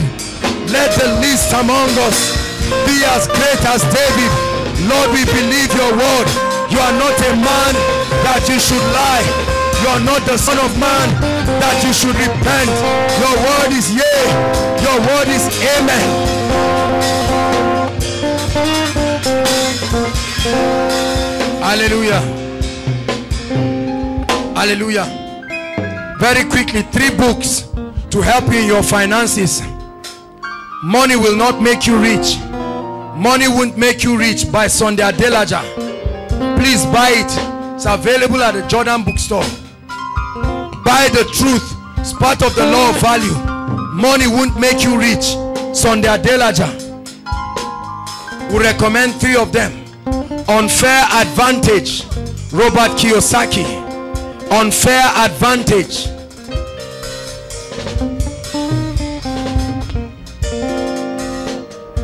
Hallelujah.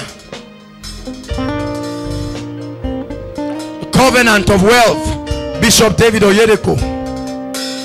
Covenant of Wealth. Bishop David Oyedepo. The Law of Prosperity. Kenneth Copeland. The Law of Prosperity. Kenneth Copeland. Please write it. I'll repeat it very quickly. Money won't make you rich. Sunday Adelaja. Unfair Advantage by Robert Kiyosaki. I don't like many of his books, but that one book is a very powerful one. Hallelujah. The Covenant of Wealth by Bishop David Oyedepo.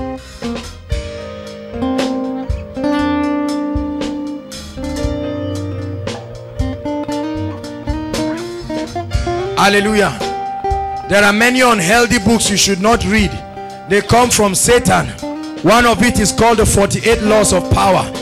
Don't you ever find yourself reading those books. They look like they are financial books. They are, they are books orchestrated by demons. They will cause you not to fear the Lord and they will teach you how to manipulate people. By the grace of God, we carefully select books that we have read, that we understand that their principles are consistent with the word of God. Hallelujah. Please read. Sit down this week. Get a new exercise book. Write my financial destiny. You have one on your dreams and visions. Write one on your finances. Hallelujah. Because let me tell you something. That sister you see sitting down, she may have only one dress, but there is something happening inside her. The Bible says the vision in the end, he said, though it tarries, it will not speak at the beginning, but in the end it will speak. This is why we I respect and I honor people so much, including these children. Some of you just look at them and nod. No. Value relationships. Value relationships. Many of our parents are crying for help today and there's nobody to help them because they neglected everybody. Some of them were the only ones to go to school and they turned and looked at the illiterates and say, you are not my class. And then the tables turned, this life. Everybody has his share. The Bible says time and chance is a mystery that happens to all men. So whether you take advantage of your opportunity or not, God is just to turn the table and one day it will get to somebody you've been laughing at and maybe when you met the person the person was a drunkard but by the time the table would have reached you would be born again filled with the Holy Spirit with sufficient knowledge to take advantage of that opportunity value relationships some of you you cannot keep friends for five five days you are fighting with everybody you just believe everybody has a problem and you won't adjust Hallelujah. There are many of us that will not forgive people that hurt us since they were in secondary school. You just turn and you saw the person sitting in koinonia and say, God, what is this person doing here? Because when you rise, see, if you don't believe in people when they are nothing, when they rise, they will forget about you too. Is there any man in the house of Saul that I may show him kindness? relationships? And they brought a crippled man.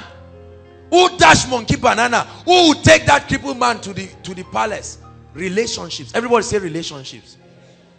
Relationships can give you what money may not give you. There are people on account of relationships they got jobs without interview. You've been seeing your roommate because they are humble. You don't know who their father is. You're just speaking against everybody and feeling you're this and that. And one day you may go to their house and find somebody there that your own father has been trying to access his office. See let me tell you relationships are powerful. This is a very powerful message. I believe god just wants me to drop this right now when i see old women and very old men the question i ask is where are their children? Two where are their friends? Because they had an opportunity to take advantage of their youthful life. Are you following me now? Many of them did not take advantage of it.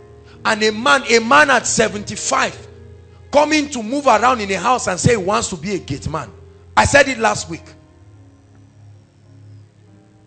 for 75 years where were his friends. No it's, it, it's impossible that all his friends will be failures. You mean nobody could help him that is coming now to be a gate man to take five or ten thousand? I'm not insulting the occupation. Are you getting my point? I'm saying that there, there is always opportunity. Many of us now are begging for things we would get for free because we neglected people years ago that are in position to bless us now there are many of us maybe if you would have seen me 15 years ago or so some of you will look and say all kinds of things. No, value people now, especially when they are hearing what you are hearing too. Look, let me tell you, the word can give you an inheritance. Never conclude on any man who is getting revelation. Hallelujah. Praise the Lord. There are many wealthy people today. There are people in the presidency. There are multi Bill Gates had classmates, true or false? All of these wealthy people had classmates. Some of those classmates are still begging today. And Bill Gates makes overnight what some of them may never make in the lifetime. Is it that he's so greedy that he cannot bless them? They are giving millions to charity. Can they help their friends? Neglect. This is a message to someone this night. Today is Valentine's Day let me just press it in. Some of us have a habit of this disdain for people based on class or whatever parameters we have. Love people. When you see us say turn around hug one another and all of this we're doing it for a reason. We're doing it for a reason. Everybody say opportunity. Remember my message on activating breakthroughs? The ministry of destiny helpers cherish very valuable relationships I'm not saying just hop in and out of any sinner's life and say they said we should have relationship. No. The Bible says have no business with the unfruitful works of darkness. Unfruitful. That means it doesn't bear fruit. There are some relationships that bear fruit. Hallelujah. It doesn't mean the people have to be perfect. I'm not talking of love relationship now. I'm just talking of general relationship. The people may have their differences just like you have your own too. Correct? People are not working with us because we are perfect. There are some of you who hate me. It's just that you like what I represent to the body and you are receiving it in peace. Praise the Lord. Value relationships. Write it. Write it so that even after 10 years if you're looking at your note you will see value relationships when you see people greet them greet them don't say i'm a pastor of so so so so ministry. So what? Huh? Greet people. You get up in the morning you pass people good morning. Huh? Don't look and say you know when i was in in in ss3 that's when you were writing common entrance. So what? Let me tell you if age used to give food some of our parents will be resting by now.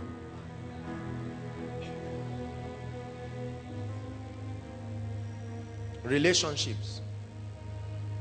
Hallelujah. Right? Financial dominion. What is financial dominion? We defined it, but let me define it again.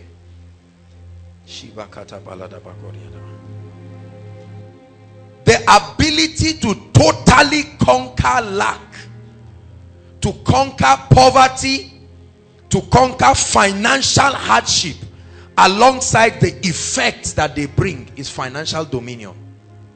Financial dominion is the ability, notice that word, to totally. When you understand that, you find out that it's a journey for us. The ability to totally conquer lack, poverty, financial hardship, alongside the effects that they bring. And let's see some of the effects that they bring. Fear. Fear. Fear. Number two insecurity many poor people are insecure the bible says money is a defense it says a rich man's words are harsh because he believes he's defended but a poor man uses entreaties, always begging, a life of begging. Greed. Many people are greedy because they have not attained that state of financial dominion. Greed. What if I give? Where will the money come from again? So someone can be dying and you can join people to say, ah, ah you are dying, what happened? Whereas you can rush the person to the hospital but you are saying, me too, what I have is not much. Greed. Self-centeredness. Some of the effects that financial hardship brings. Self-centeredness. Many people are self-centered.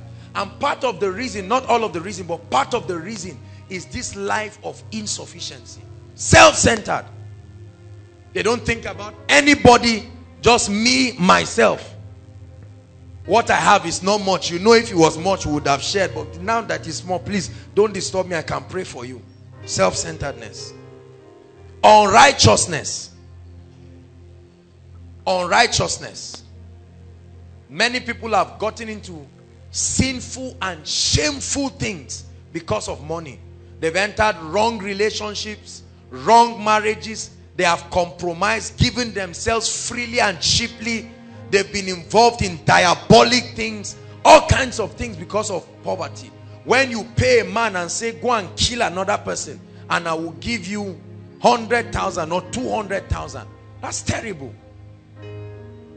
Unrighteousness.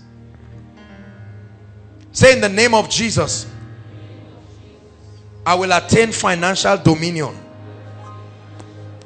and be free from all these things. There are many people who live perpetually under fear.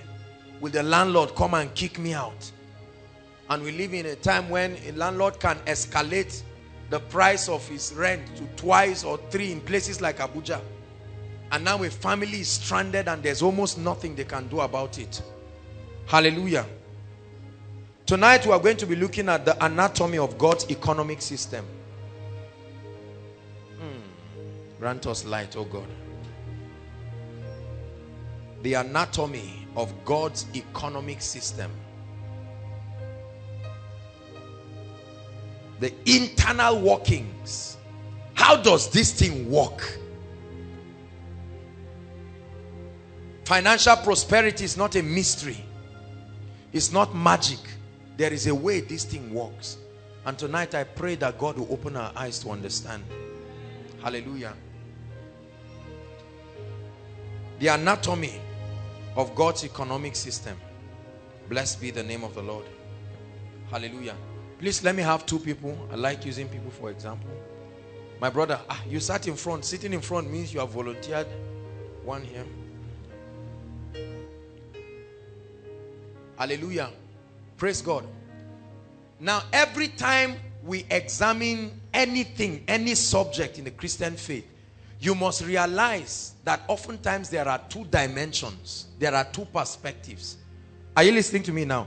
There is the world's economic system. Everybody say the world's economic system. That means the way that people in the world run their economy. This world, this system, cosmos, it has its economic system. The way people get money, the way people multiply it, the way people become rich, they have their system. But the kingdom of God also has an economic system. And if you are a citizen of the kingdom, then you should understand how the system of heaven works. The Bible gives us a picture of this. He said, lay, lay up for yourself treasures where? So he began to give us a picture that there is a heavenly system that interacts with the earth. That a man can be in the earth realm, but he can make heavenly deposits. Are you getting my point now? This is Jesus speaking. Lay for yourself treasures and he tells us the limitations of this world system he said thieves can come all kinds of things can go wrong but there is a system that has another mode of operation and so tonight we want to examine this system everybody say heaven's economy say it again heaven's economy many of you are shocked because we've not been taught in church either because we have been made to believe that when you teach people about prosperity, it is carnality. But by now, I know that every one of us here hates poverty. Is that true? And we're not going to allow anybody just sit down and mislead us and make us believe that teaching about pr prosperity and the place of kingdom wealth is, is, is carnality. No, no, it's not at all. At all. There is a lot that the kingdom of God cannot the, the advancement of the kingdom of God can be crippled when there is no finance hallelujah so there are two economic systems what's the first one what's the first one? The world's economic system. And there is the second one. What is it? Hallelujah. Now the fact that it is heaven's economy does not mean that it is not operational in this earth. Are you getting my point? Because this is where we are now. So we take the principles of the kingdom and we walk with it in this earth realm. Bless you sir. Hallelujah. The anatomy of God's economic system the first thing I want us to examine is the role of wealth and prosperity in the kingdom why does God bless this is this is one of the things you must understand when you are exploring the economy don't talk about money. Don't talk about business. Don't talk about all of these things. The first thing you need to know is why does God bless the believer? Why do we have to be blessed in the kingdom? What is the role of wealth and prosperity as far as kingdom advancement is concerned? Why does God bless us?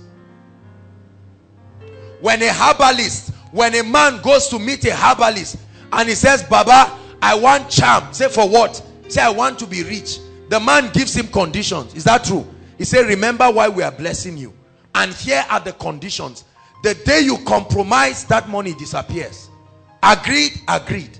And the man goes back and then things begin to work for him. There is a system. So why does God bless us? Because if you do not know why God prospers people, you will misuse prosperity when it comes. Are, are you seeing why lots of people misuse prosperity? They don't know the purpose of prosperity in the kingdom. So they get money and do lots of crazy things. You know, I, I, I told you, I think it was last week. I don't know if I said it here or maybe during the final year or workers retreat, any one of them. Hallelujah. I watched a documentary how that the son of the Sultan of Brunei also, I think one of these very wealthy billionaires. Hallelujah. his child, I think if I, if I remember rightly, about 22 years old. When he was celebrating his 22 year old birthday, the father gave him 250 million dollars as a birthday gift.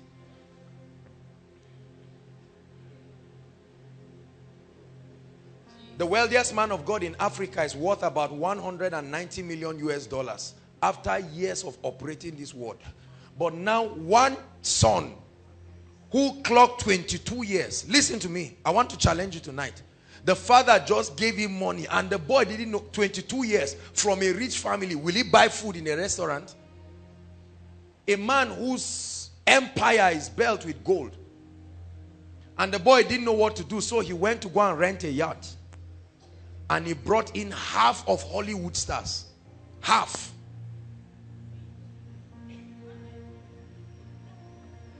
Praise the Lord. Half. Just to come and enjoy. Drink beer, waste away, become soul hunters. And he wanted to become friends with a popular, one of these secular musicians. And he knew that going to go and meet him the way a poor man a poor man uses entreaties and he knew that that way would not work so they measured his size and he made a shoe for the musician made of diamonds and presented it as an offer to become his friend do you think it will work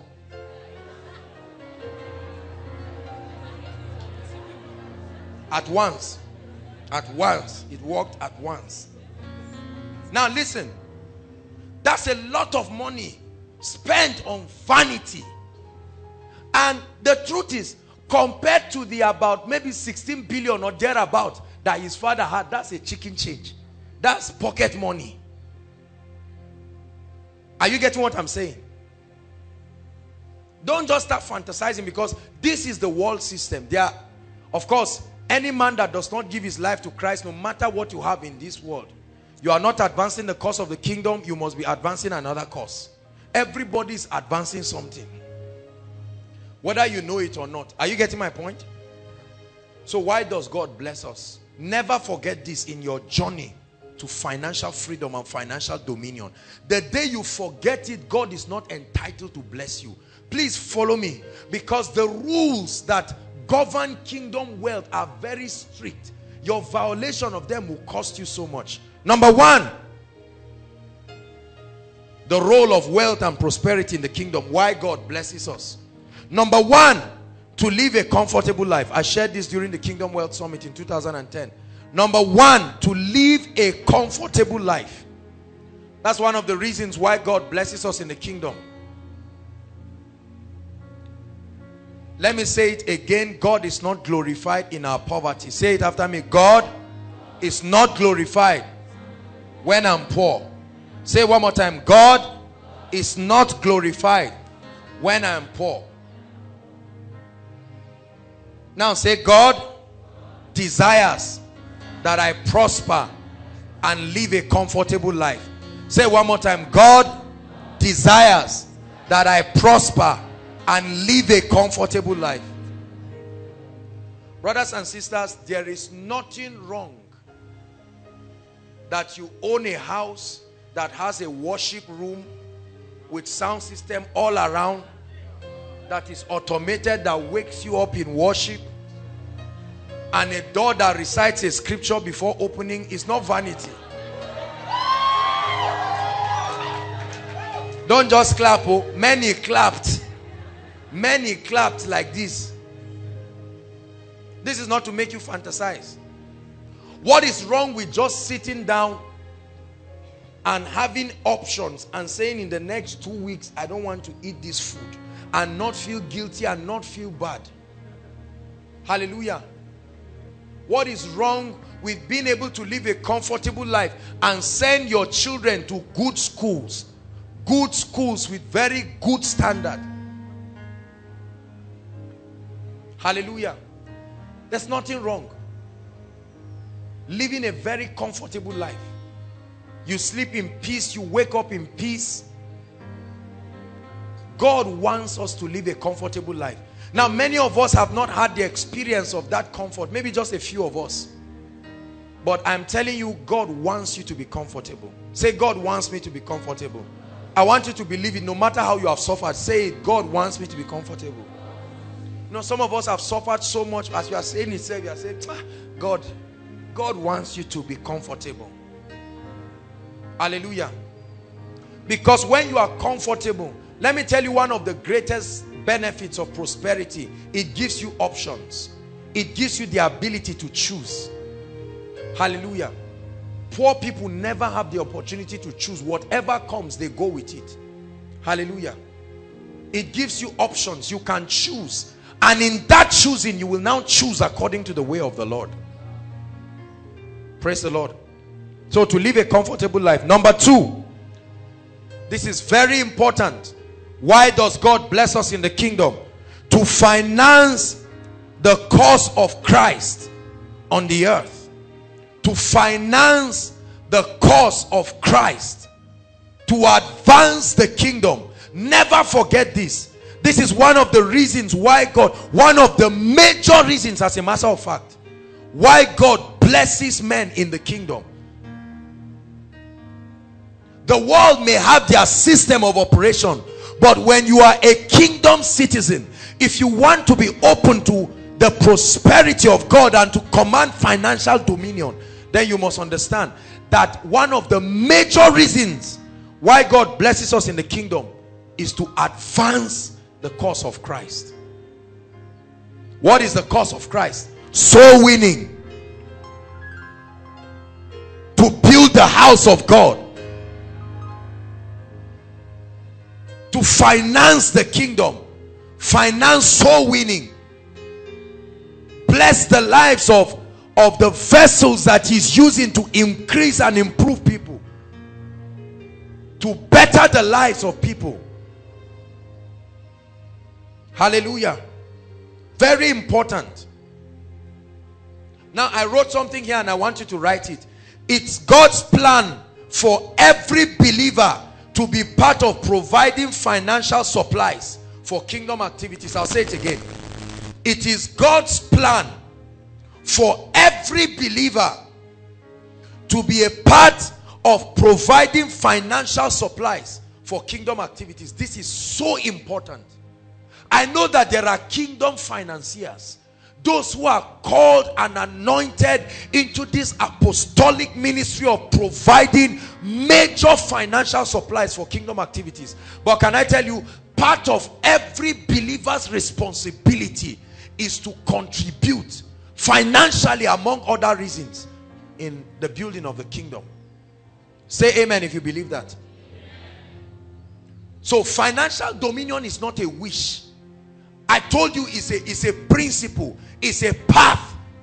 It has a formula. If you can walk with it, then God will honor you. Otherwise, you are not entitled. As simple as that. You may not go to hell, but you are certainly not going to be eligible. It is God's plan for every believer.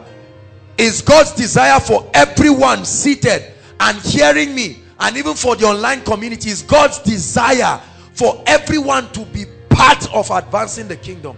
Listen, we're still going to discuss other sections, but you must come to a point in your life where out of every resource God gives you, there must be something in it that goes for the kingdom. It's not just a special um, a, un, until you are prompted and all of that, that it is part of your life that you're going to provide financial supplies for the kingdom. It is very, very important. Hallelujah. That's the second reason. The third reason why God blesses us in the kingdom is to reveal the love of God to a dying world in a practical way. To reveal the love of God.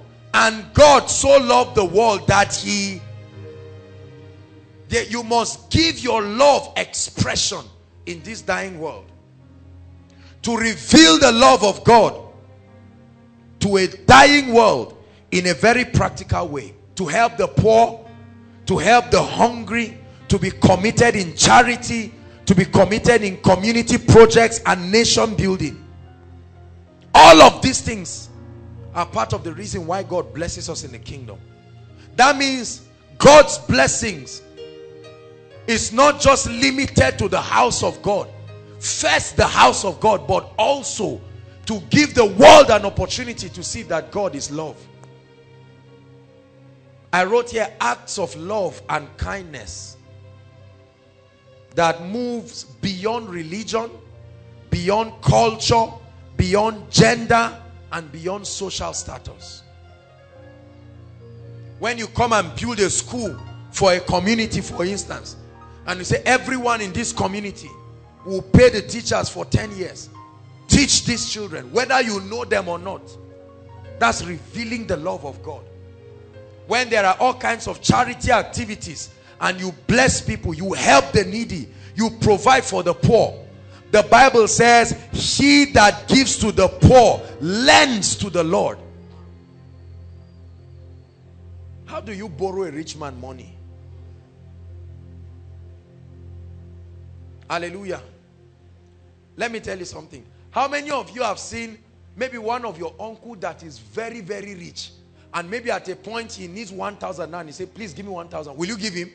Very quick step. Who knows? Maybe as he's giving you back, he won't give you that same 1,000. So when a rich man says, please borrow me, very quickly say, ah, I have. He said, no, no, let me just say, mm, it's my own, I have. Because you know that when he's giving you back, he will say, ah, ah you out of this abundance so let's just take this one and you just look and you see that it has multiplied ridiculously. So the bible says when you give to the poor is the same thing as god saying borrow me money i will return it to you. Ah i will do. Goodness. God every rich man blesses according to his ability. That means he first looks at his ability and from that revelation he will bless you. So the bible says my god this is Paul speaking, shall supply all your needs according to his riches. Praise the Lord. These are the three major reasons in the kingdom why God blesses us. Let's review it quickly. Number one, to live a comfortable life. Number two, to advance or to finance the cause of, the, of Christ on earth. Use the word advance, not finance. Advance. Advance. The financing is to bring that advancement. I will build my church. He says, and the gates of hell shall not prevail. Praise the Lord. When it was time for him to build the temple, they called on people and from the abundance that they brought, the tabernacle was built. Do you know, listen, let me prove this thing to you um, scripturally. The Bible says when Israel was about to leave Egypt, God made Egypt to give them money. That was the first wealth transfer we see in the Bible. Are you following me now? This we are going to come to the issue of wealth transfer. So we see the first wealth transfer in scripture that overnight someone who had oppressed people for 430 years he gave them money. But many of them did not know. He gave them sheep and oxen so that he can sponsor their journey. Are you following me? That journey is like the journey of the believer to the promised land now so financial resources were given, but because they did not know why God blessed them, later on he would demand of them that they bring from that resource. Because they did not know, they used the money to build an idol. The gold and everything. Eventually, they built an idol. That's what a lot of people are doing. Every time you do not know why God blesses, you will build an idol with it. Are you following me, please? This is a very important teaching. I want you to pay rapt attention.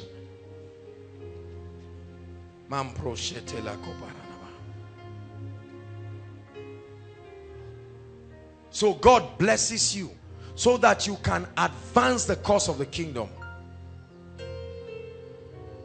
Wealth in the kingdom is not an achievement, it's a trust. Never forget this. Wealth in the kingdom wealth in the kingdom is not an achievement. Is not an accomplishment. You satisfy these rules and God trusts you with it. Please understand. That's why there is no boasting. Any rich man in the kingdom that brags unnecessarily does not understand the operation of the kingdom fully. Trust. And he gave unto one. Please come. Three of you. Look at me the Bible says he gave unto one what? Five talent. Did they beg him for it? he gave them, he gave them, he gave them according to their several abilities. Right? After a while, he came back and demanded accountability. Write this word down, stewardship. Please sit down. Write this word down, stewardship. This is this is this is a word that you must never forget if you want to be blessed in the kingdom. There are no owners of prosperity as it were, financial prosperity. No. No. There are stewards that God commits wealth to for their personal blessing and to be a blessing. The day you stop being a steward, you are not entitled to the wealth of the kingdom. Everybody say, I am a steward. What does it mean to be a steward? A caretaker. A caretaker.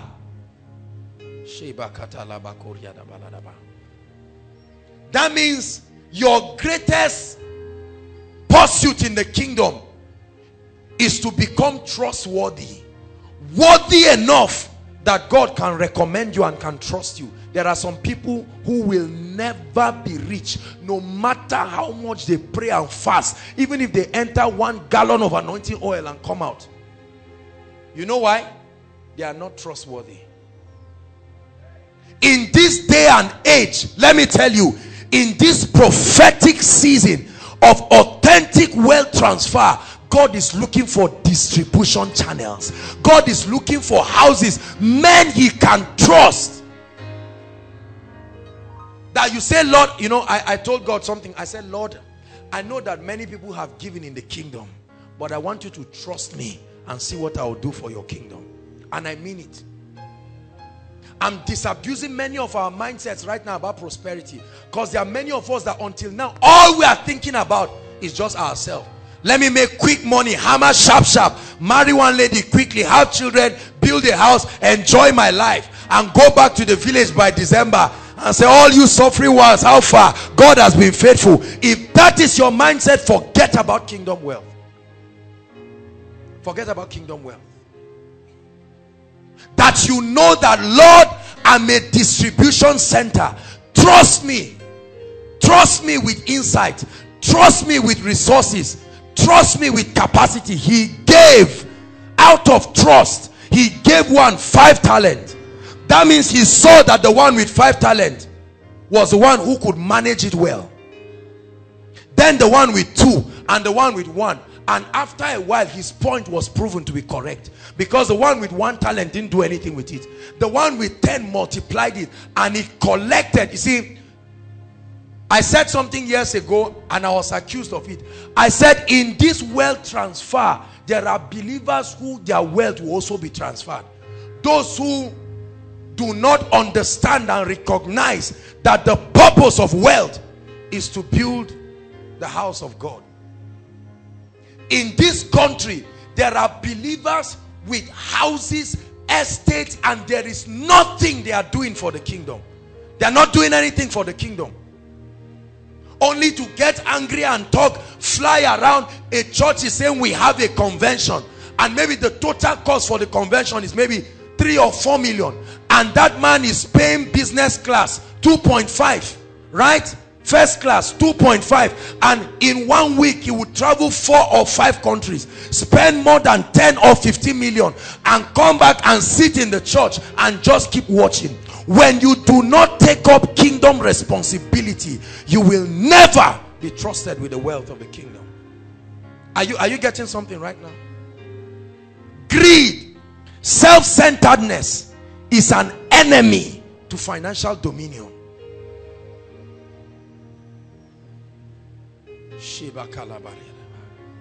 Are you getting blessed?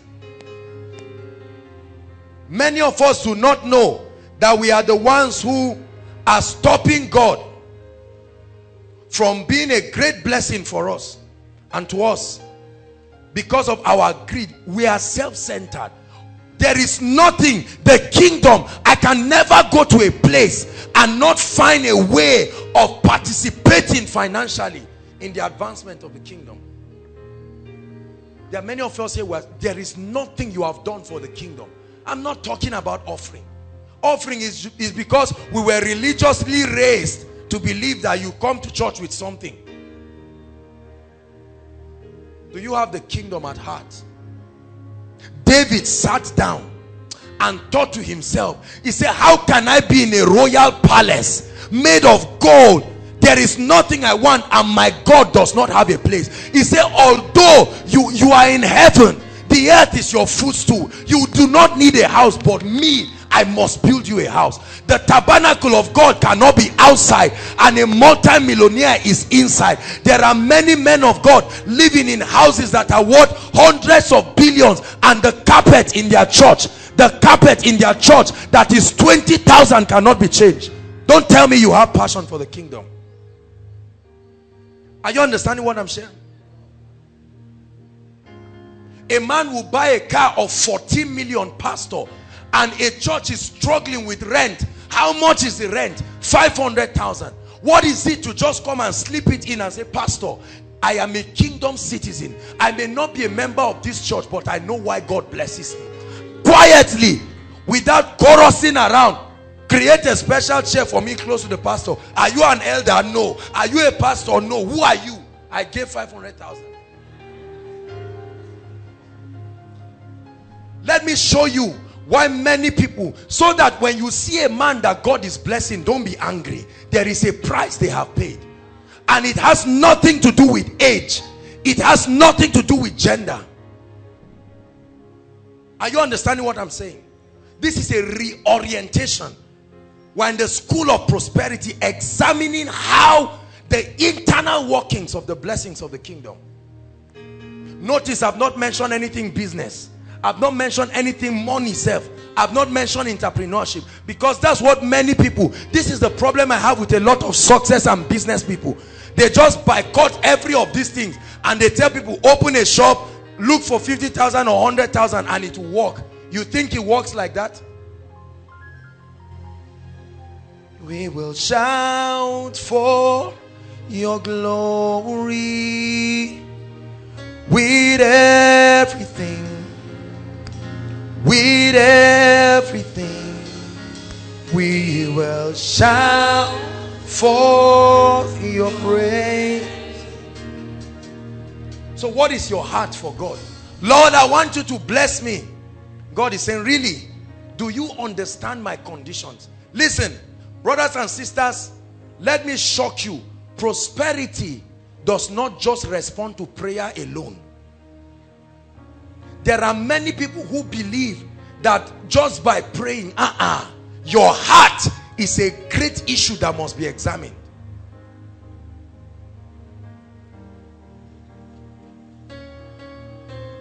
There are so many people who are so greedy. Every time they talk about money let me show you something. Read psalms 122 in niv can we get niv psalm 122 verse 9 i found this scripture years ago and it, it hit my spirit. I said, goodness, my God. Psalms 122, last verse, verse 9 in NIV.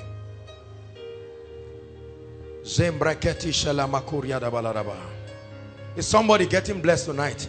God is challenging us in this place because he wants to bless us. I prophesy to you is your season. In the name of Jesus. What kept your family members will not keep you. There are some of us this is the prayer that our parents have been praying for years and say lord will a savior not arise? Will a savior not arise? Is this how we will die?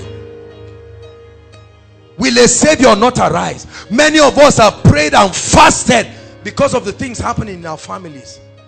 The lord brings salvation for us in the name of jesus christ while they prepare to, to pull that up i want you to understand that every time God increases you and your heart tends towards wickedness, he can withdraw the, the blessings. Are you getting what I'm saying? That's why after 20 years, a man can be blessed, but after 20 years, he can be so reduced and even be begging. Hallelujah. Everybody read Psalms 122 verse 9. One to read. For the sake of the house of the Lord our God, I will seek your prosperity. Is that in your Bible? That means, Lord, I'm not just seeking all these millions and billions. How many cars can you enter at once? Even if you have 50 cars, you can't pieces your body to drop in different cars. You can only enter one. Is that true? So if it's just for yourself, you just need a cash flow of a few hundreds of thousands and it will do you. No matter how extravagant you are. But for the sake of the house of the Lord, I will seek your prosperity. Lord, I'm seeking these billions. I'm seeking these thousands so that you can sponsor a TV program for 10 years quietly and say, man of God, stop thinking about money. You concentrate on praying. Look at how many struggling ministers with an authentic message from God. But there is no voice given to them. Hallelujah. Because of prosperity. Because of your house, I will seek your prosperity. What do you need 1 billion for as a person? Bill Gates is living off 5% of his wealth and he's still a billionaire. He's giving 95% of the wealth to Bill and Melinda Gates Foundation. Yet with the 5 billion, he's still a billionaire. Do you know why God searched around the body of Christ and did not find many worthy believers and he chose to use Cyrus's until the believers are prepared. There is no not there's none on record that I know. There is no man of God or minister of the gospel that I know who is a billionaire in dollars not one. The closest is Kenneth Kenneth Copeland. The only person that I can say has gotten there he's not exactly a man of God is Peter J. Daniels the man with the largest real estate company in Australia. What is the problem? We are here shouting massive kingdom wealth transfer and there is nobody.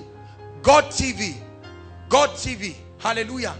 God TV, they are looking for about six to 10 million dollars to complete a project for the house of God. Look at the people who have been blessed. Six to 10 million. Brothers and sisters, are there no people on earth that can give a prostitute 10 million for one night.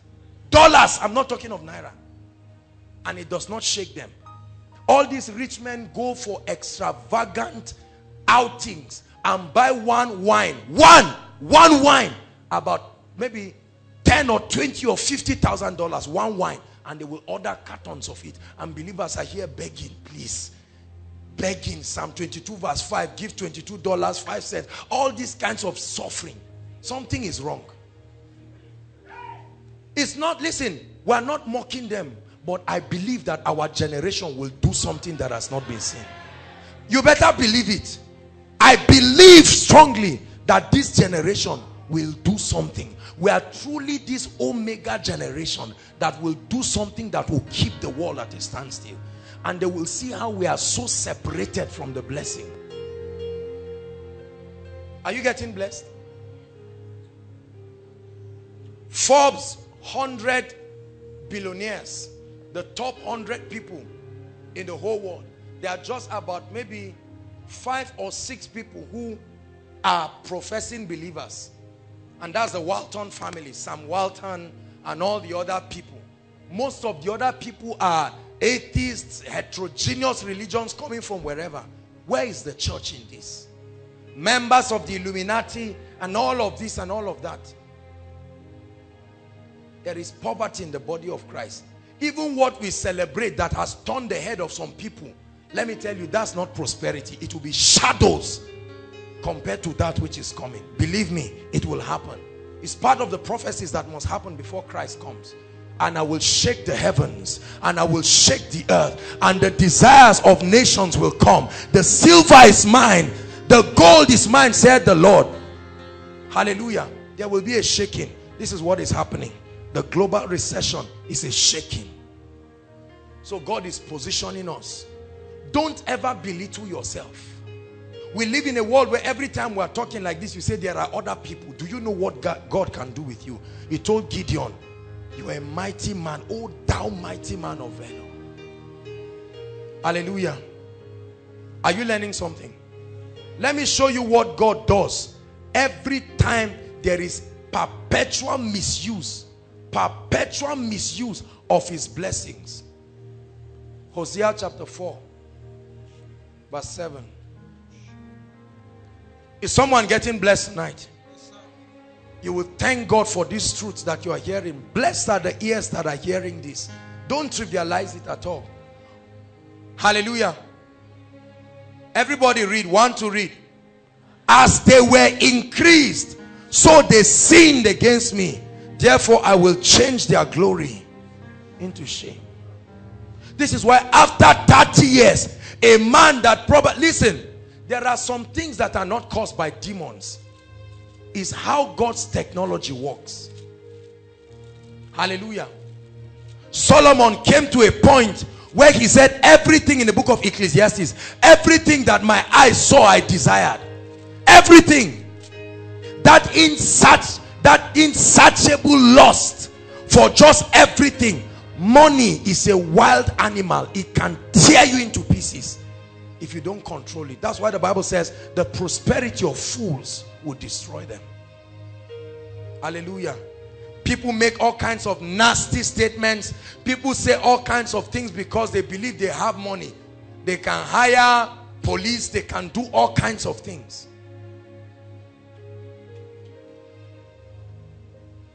Praise the Lord. I want you to know that this is the reason why God blesses us. Never forget. Every time you get money, just know that this is why God has blessed me. There is a portion of this that is for me. There is a portion of this that is for the kingdom. Hallelujah. If you understand this, you're already in, in a very great, a, a landslide uh, uh, progression towards financial prosperity.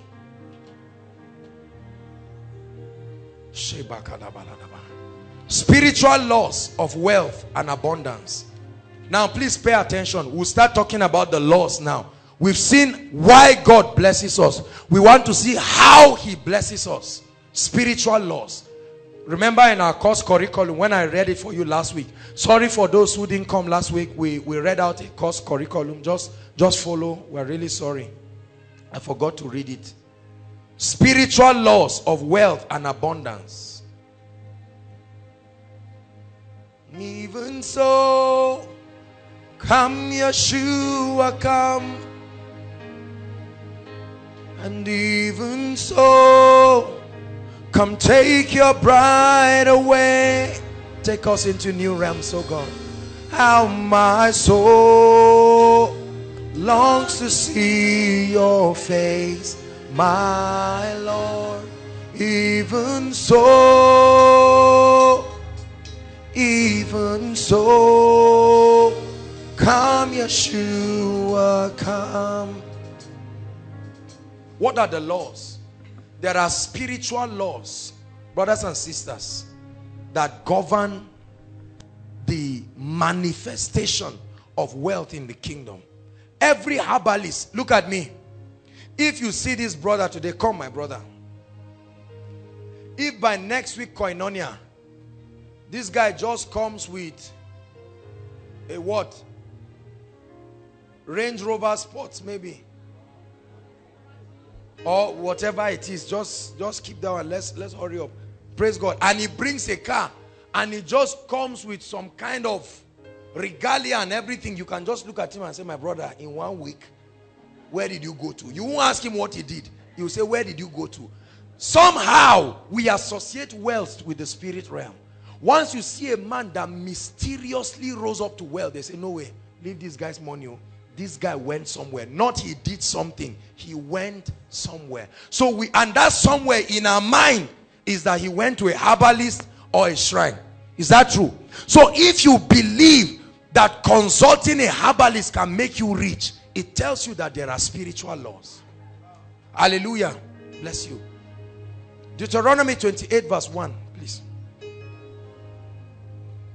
Deuteronomy 28 verse 1. This was a condition for prosperity. And it shall come to pass if thou will hearken diligently unto the voice of the Lord thy God to do what? Observe and do. There is something to do. There are laws to live by. It's not automatic. It's not the issue of receive prosperity. There is a dimension where prayer comes in. But i want you to know that there are laws. Everybody say there are laws that govern wealth and abundance in the kingdom. Say one more time. There are laws that govern wealth and abundance in the kingdom. Let me tell you if you do not know these laws i don't care whether you have you have phd in finance and economics. You will struggle eventually in your life and you will not experience true prosperity. There are many people who believe that all it takes is just go to school go and get a job do this and that. Wonderful. We'll still talk about that. But let me tell you prosperity in the kingdom first starts by your compliance to spiritual laws. Just thank you. Hallelujah. Praise the lord. Say spiritual laws. Oh there are laws. There are laws. Just like there is the law of gravity whether you believe it or not is there. If peradventure you climb a building and try to fall that's when you will know that there is a law. Hallelujah. There are spiritual laws. The first spiritual law is the law of tithing the law of tithing leviticus 27 verse 30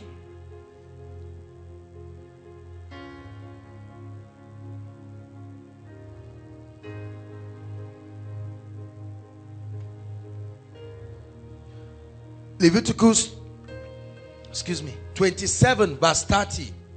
Everyone, please, can we read? One to read.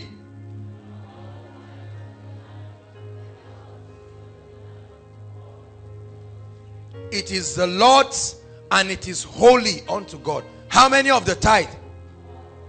All the tithe. He says, all the tithe of the land. Your tithe. What is your tithe? The word tithe comes from the word a tenth. It is a tenth, 10% of your income. Please write. 10% of whatever blessing God brings to your life. Now, because we operate an economy that has to do with finance, money, currency, because of currency now, we no longer carry bags of rice on our head to come and drop and just say this is my tithe and all of that. Hallelujah. The jews were an agrarian people and because of that that was why all of these things were written. But for us now it's just your finances because it represents your highest value and sacrifice in terms of your physical input and the reward you get from it 10% hallelujah now listen I'm going to say something that sounds very controversial. There are people who preach that you should give 30%, stretch your faith and give 30% and 40%. Because it is money, nobody will refuse it, but that's not, the Bible says obedience is better than, there are other opportunities to sow into the kingdom. Call tithe what it is. Are you getting my point? Now, there are a few times where God gave certain people customized instructions that were were just a product of their relationship with God. You cannot carry your personal experience and lord it over people. Are you getting my point now? There are churches that they make people bring 50%, 100%, bring everything and say, there is first fruit. There are lots of other things. We'll discuss it. Your tithe is 10% you can give the 10% and give every other thing. There are many avenues. We are going to discuss that. But listen, I'm telling you now, your tithe is your 10%. There is a reason why God said 10. He would have said 2 or he would have said 21 to 50% is your tithe. Choose anyone. God is very meticulous and he's exact. 10% is your tithe. Are you getting what I'm saying now? Malachi chapter 3 from verse 8 to 12. Another word for the law of tithing is the law of open heavens. It's the spiritual law. One of the spiritual law that is responsible for opening your heavens. Not just financially, but even financially.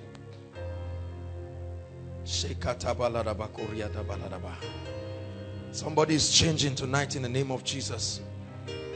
The law of open heavens. Malachi chapter 3 from verse 8. Will a man rob God? Question. Answer it. Answer it for yourself. Will a man rob God? It's an encouragement. It was a question, but use it now to challenge yourself. Hallelujah. Put your name there where a man is. One to go. Will Joshua Selman rob God? Some of you, as you are saying it, God is saying, you see, this is what has been happening. There are many robbers of God in the house of God. Many robbers of God. And please listen, some of you hear this and you think it's some gimmicks by pastors to collect your money. Let me say something. Everybody is an authority somewhere. Are you getting what I'm saying? A professor is an authority in his field, not everywhere. Don't listen to garbages by intellectuals. They are not spiritual people. They don't know how heaven's economy works. You cannot go and meet a man who is not a spiritual man and you are telling him to help you analyze the principles of the kingdom. The Bible says the natural man cannot understand the things of the spirit. It doesn't add up to them. There are many people, because a man is sound intellectually, does not mean he has spiritual understanding. There are many politicians, many people who insult pastors, genuine men of God, and say all kinds of things because they think that because they have political knowledge, it means they have spiritual knowledge. And they take politics. Get out! Leave us in the house of God. We stay with God day and night and we understand this is our area of grace. Let us function. Don't let any politician just come in and all kinds of people who are misleading people in the body of Christ. Being manipulated by demons and stopping people from entering their breakthrough. I know that there are abuses here and there, but let me tell you the truth. Any man that is not faithful in tithing is scripturally entitled to poverty scripturally. The Bible says, he that breaks the hedge, the serpent is permitted on legal grounds to strike.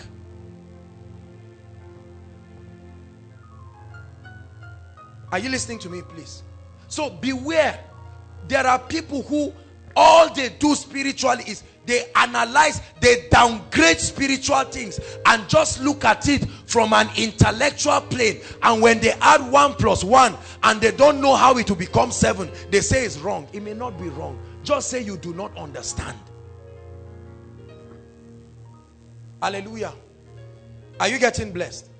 And there are many of us, especially some of us, as young as we are, we have already imbibed this religious mindset to scrutinize and criticize everything we don't understand. We bring it into our religious mold. And once we find out that it doesn't add up, rather than with all humility, seeking to understand. Hallelujah. The Bible says the wise men saw the star. Is that true? when they saw the star they knew that this star was spectacular. It was leading them somewhere. They didn't have sufficient knowledge to understand what it meant but with all humility they followed the light and that light brought them to jesus. There are many people who need to humble themselves. The recession has humbled a lot of arrogant people who laugh and scorn at the church. Let me tell you individuals may fail but the church of God as an entity is progressing. It cannot fail because Christ is the head of that body. Hallelujah. The law of tithing. Will a man rob God? Yet ye have robbed me. But ye say, wherein have we robbed you? This is where you have robbed God. In tithes and offerings. Verse 9. This is the consequence. This one is not the cause of the law this one is the cause of disobedience. Are you getting my point now? Ye are cursed with a curse, for ye have robbed me, even this whole nation. Verse 10. Bring ye how many? All the tithes into my storehouse, that there may be meat in my house. So God wants that there be abundance, that there may be resources to carry out activities in my house. And God says, if you have done your own part, prove me and see the things I'll begin to do in your life. Number one, if I will not open to you the windows of heaven. Hallelujah. Number two, if I will not pour you out a blessing. Number three, okay, a blessing that there shall not be room enough to receive it. Verse 11. Number three, I will rebuke the devourer for your sake. Number four, he shall not destroy the fruit of your ground. Your ground is anywhere you sow. It could be your job, it could be your marriage, it could be whatever it is that you're doing. It says, and he. So that devourer is not a thing, it's a spirit, it's a living being. And he, that devourer, shall not destroy the fruit of your ground. Neither shall your vine cast its young before its time. There are lots of people with all kinds of premature happenings in their lives. Things that you know, this one is the signature of the devourer. Thus said the Lord, verse 12.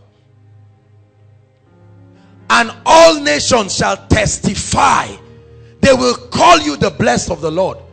He said, for you shall be a delightsome, a well-desired land.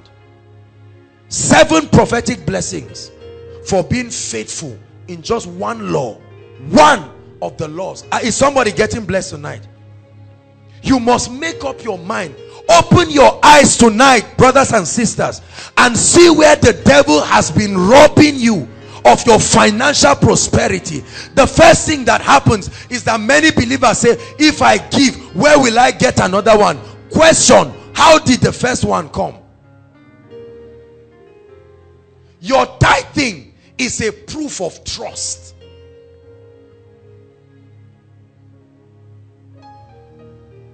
Hallelujah. If you cannot bring out 10% of your money and say, Lord, I trust you. I come because I love you and I come because I know that your word is true. If you're not a faithful tither, don't get angry at God. Many of our parents get angry. Maybe they are collecting two or three hundred thousand or four hundred thousand and they look forty thousand to go and give a pastor are we stupid like that? Don't turn our head. This is a problem. They think they are giving a pastor. They think they are giving the man of God. Are you getting my point now? What you do not know, listen. The Bible says, if you do this to the least of my people, you have done it unto me. When you come and give in the house of God, please listen to me. If you give tithe that is for the house of God, and the man of God eats the tithe, is between him and God. God, God will not hold you accountable for it. You have done your own part. Are you getting what I'm saying now? Oh, but there is faithfulness. The, the, the rewards of faithfulness are endless. There are many of our parents struggling. They've been trying to build one house for 10 years, 20 years. When the house is almost completed, somebody will do something from the village, everything will be destroyed again. The moment, have you seen families like that? The moment money enters, everybody gets sick until the last time finishes, then everybody will be fine by themselves. That's the devourer. Brothers and sisters, that's the devourer. There is a place that your tithe pays, or there's a role that it plays in the kingdom. You can choose to believe what I'm saying. Hallelujah. Could it be that many of us have been robbed of entering these dimensions of blessings? Some of us go and tell our parents these things in love. There are some of us here that are parents. We have children. We've not been practicing the law of tithing. I want you to know that this is one of the irrefutable spiritual laws. Even unbelievers give 10%. They don't call it tithe. But almost all the multi-million and multi-billion corporations dedicate at least 10% of their money and they say it's for charity. Are you following me now? If a believer plants during dry season, there is every tendency that you still suffer, although he's a believer. Is that true? If an armed robber comes to plant during rainy season, the rain will come because he aligned with the season and the principles that agriculture brings. This is how lots of unbelievers they are interplaying kingdom principles and it's working for them. Tonight, God is giving you an opportunity to make a decision. Hallelujah. We're still going to continue, but while you're seated in the next two minutes i want you to pray and say lord grace i've not been a faithful tither. Don't bow your head. Pray. Pray. Open your mouth and pray. There are many of us some of you outside wherever you are please this is the this is a serious business. Your children this this adherence to these laws will determine whether 10 years from now 5 years from now you will be part of those crying together with your children or you will break certain cycles in your family. Some of us as you are hearing this right now you may be young but God is counting on you to break some chains. Enough is enough. Pay the price now. Pay the price now. Lift your voice and pray. Say Lord grace. Say kata baba I have robbed you and I am sorry I take responsibility oh God. Many of us have have yielded to fear. You're not supposed to to bring your tithe because you are afraid. God is a loving God. He said I know the thoughts that I think towards you said the Lord. They are thoughts of good and not of evil. How can God rob you? God is no man's debtor. God does not rob men. Please lift your voice and pray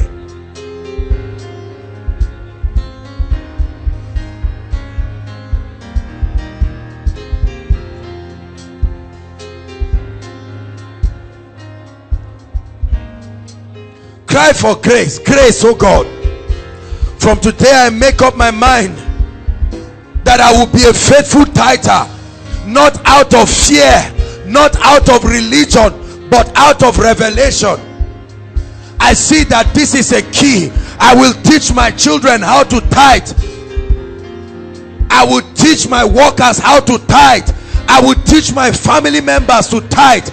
I will guide them and help them to be faithful in tithing so that the heavens will be open.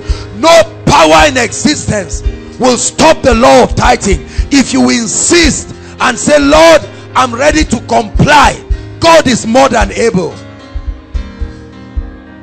Before you begin to abuse god and insult him and say he's not helping my family i'm opening your eyes tonight to see the loopholes business without tithing will end up in failure. Ministry without tithing will end up in failure. A corporation without tithing a, a non-tithing family uh, they are entitled to financial hardship.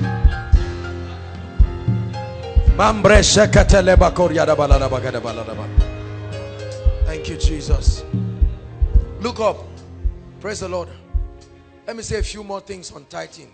Listen if you are a business owner here I want you to know that tithing does not just apply to a person. Hallelujah. When Abraham went to go and rescue Lot right?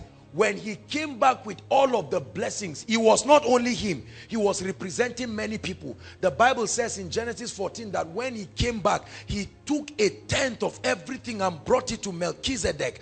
And the Bible says Melchizedek blessed him and said, Blessed be Abraham, son of the Most High, possessor of the heavens and the earth. And his destiny opened up. The great Abraham. Hallelujah. By the grace of God, we do not owe God one naira as a ministry in tithing the finance department all is a standard rule in this place. Before we do anything with finance the tithe comes out. When we started the school of ministry and missions even that no matter what we are raising money for in koinonia the tithe must go to god. Are you understanding this? So don't just think that these are things we are just saying. You must make up your mind if you cannot commit to God your 10%, then it means you do not trust that he's able to bless and multiply you. You want to be a billionaire. You know what is the tithe of 1 billion? 100 million. You think you can carry 100 million and just go and give like that? We are going to pray when we are done. One of the graces that we must receive is the giving grace. Hallelujah. The giving grace the giving grace. There are many people that do not have if you don't have it is not human to carry money like this and take to the house of God and just go and drop. No there is a grace. That was the grace that was upon the Macedonian church that they gave even beyond their limits. It's called the giving grace. Many of us do not have it. We are too greedy. Everything that enters your hand you spend it on every kind of thing. Sickness disease any other thing but God hallelujah. Your tithe. What is the storehouse? Very quickly let's clarify the issue of this storehouse once and for all. What is the storehouse? Because the bible says bring the tithe where? To the storehouse the house of god. So what is the storehouse really? In scripture there are three places that qualify to be called the storehouse number one God's first idea of a storehouse from the Bible is the primary place where you receive your spiritual nourishment. Are you getting me? The place where you receive your greatest spiritual nourishment. For many people, is their local assemblies because, you know, they are there, they are committed, they are workers in the church, and then they are giving. Number one, the primary place where you receive your spiritual nourishment. Anywhere you receive your primary spiritual nourishment. Primary there means the major spiritual nourishment that is building your life. That becomes the storehouse. Number two it could be a ministry not necessarily your ministry but a ministry that is committed to the works of the kingdom. Please get this. A ministry that is committed genuinely to the works of the kingdom. There are people for instance that sow in their tithe into maybe Benny ministry Kenneth Copeland ministry and it's not their local assembly as it were. Are you getting my point now but it's a ministry that they believe their vision and they are given into soul winning building and equipping believers listen if you pay your tithe to a dead place where the activities of the kingdom are not happening, it can affect your harvest. It's in the Bible. It's the same thing as a farmer carrying a seed and going to throw around in a soil that is non-productive. The, the seed will not produce, not because it is not good, but a poor soil killed it. Number three. Now, and these ones are there are special situations, but I'm going to talk to you. The vessel or the storehouse can also be an individual. A man of God. Listen, please. I want you to listen very well so that you don't confuse what I'm saying. A, it can be a man of God, a vessel. The Bible says, know ye not that your body is the temple of the Holy Spirit. But there are conditions. Are you getting me? Now, there are ministries that the spiritual fathers or spiritual leaders in the Lord. Are you getting me? I'll give you an instance. Like Bishop Oyedepo, for instance. He is the president of a ministry. Aside from the tithe of the ministry, he has his own ministry. Are you getting me now? So they can they take this tithe. They don't just go maybe to Redeemed or Kenneth Copeland. That vessel that they are drinking from on behalf of the people. Are you getting my condition now? And they honor them with their tithe and they speak blessings. Abraham went to who? Melchizedek. Melchizedek was not a city, he was a man. And he brought his tithe to Melchizedek. And Melchizedek pronounced a blessing upon him. Hallelujah. There are lots of ministries, for instance, around that by the grace of God look up to us in ways for spiritual direction and they've committed themselves they come and they tithe in koinonia here. I don't even know. This is what they are doing. Are you getting me? But I'm saying whether of these three, there are special conditions for the third to occur. Because there are many men of God who just sit down and somebody in church just corner a few people and say, I qualify to be the storehouse. Come and bless. I've explained to you that the condition where a person can be a storehouse. But the house of God is where you must bless. Is somebody getting blessed? These are the benefits. The first law. Thank you, Jesus. Wow. Let me touch on one more law and then we'll round up this night. Next week we'll talk about the natural laws and we'll talk about wealth creation, the principle. The second law is the law of seed time and harvest. The law of increase, the law of giving. Luke 6 38. Luke 6 38.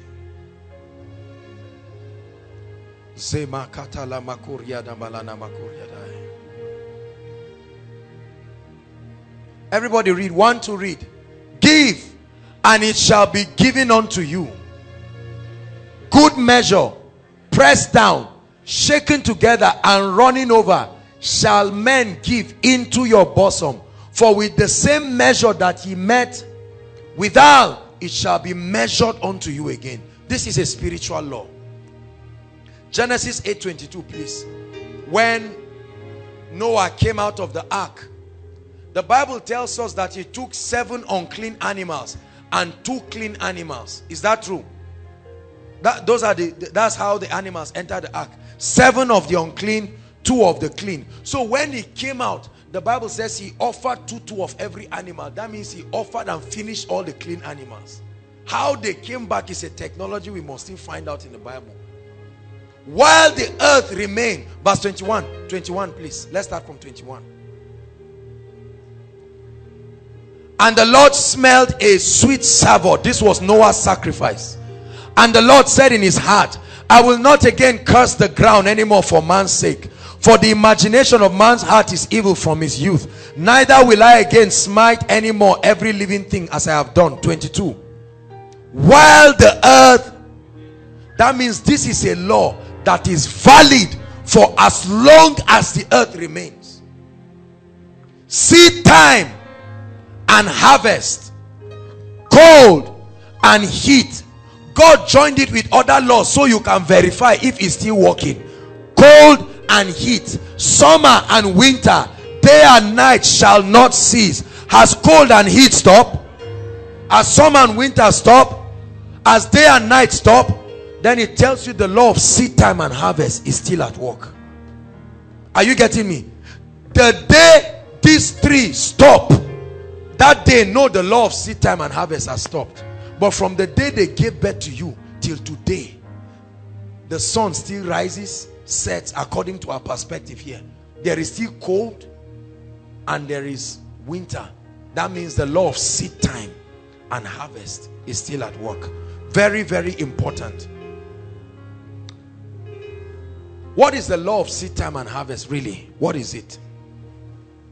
Simply put, the law of giving is a law that this earth, please listen, very, very important. This earth functions by giving and receiving. That whatever it is that you give, there is a technology that is able to multiply whatever you give and return it to you. Now, I'm not talking about money. When you give love, you are practicing the law of seed time and harvest.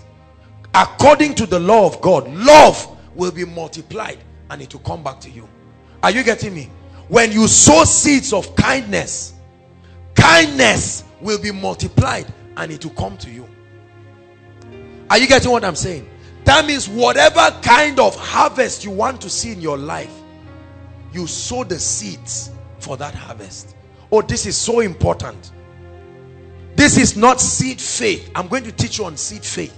We'll come to seed faith. I'm teaching you the general law of seed time and harvest, often called the law of sowing and reaping.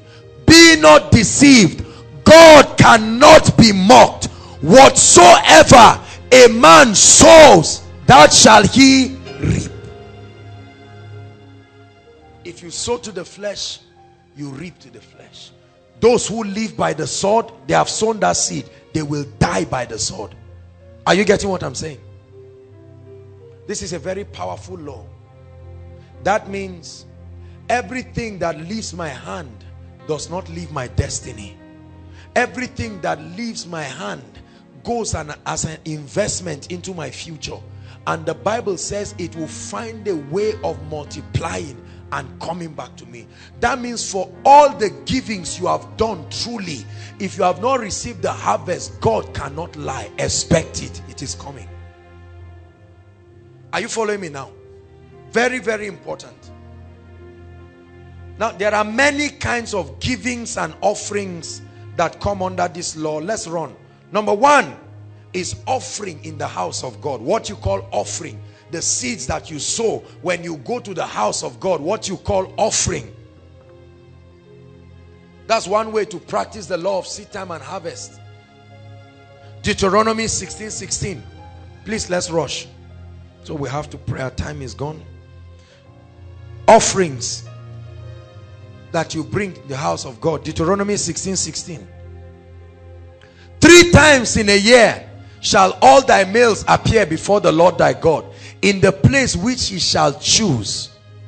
Hallelujah. It says, in the feast of unleavened bread and in the feast of weeks and in the feast of tabernacle and they shall not appear before the Lord empty.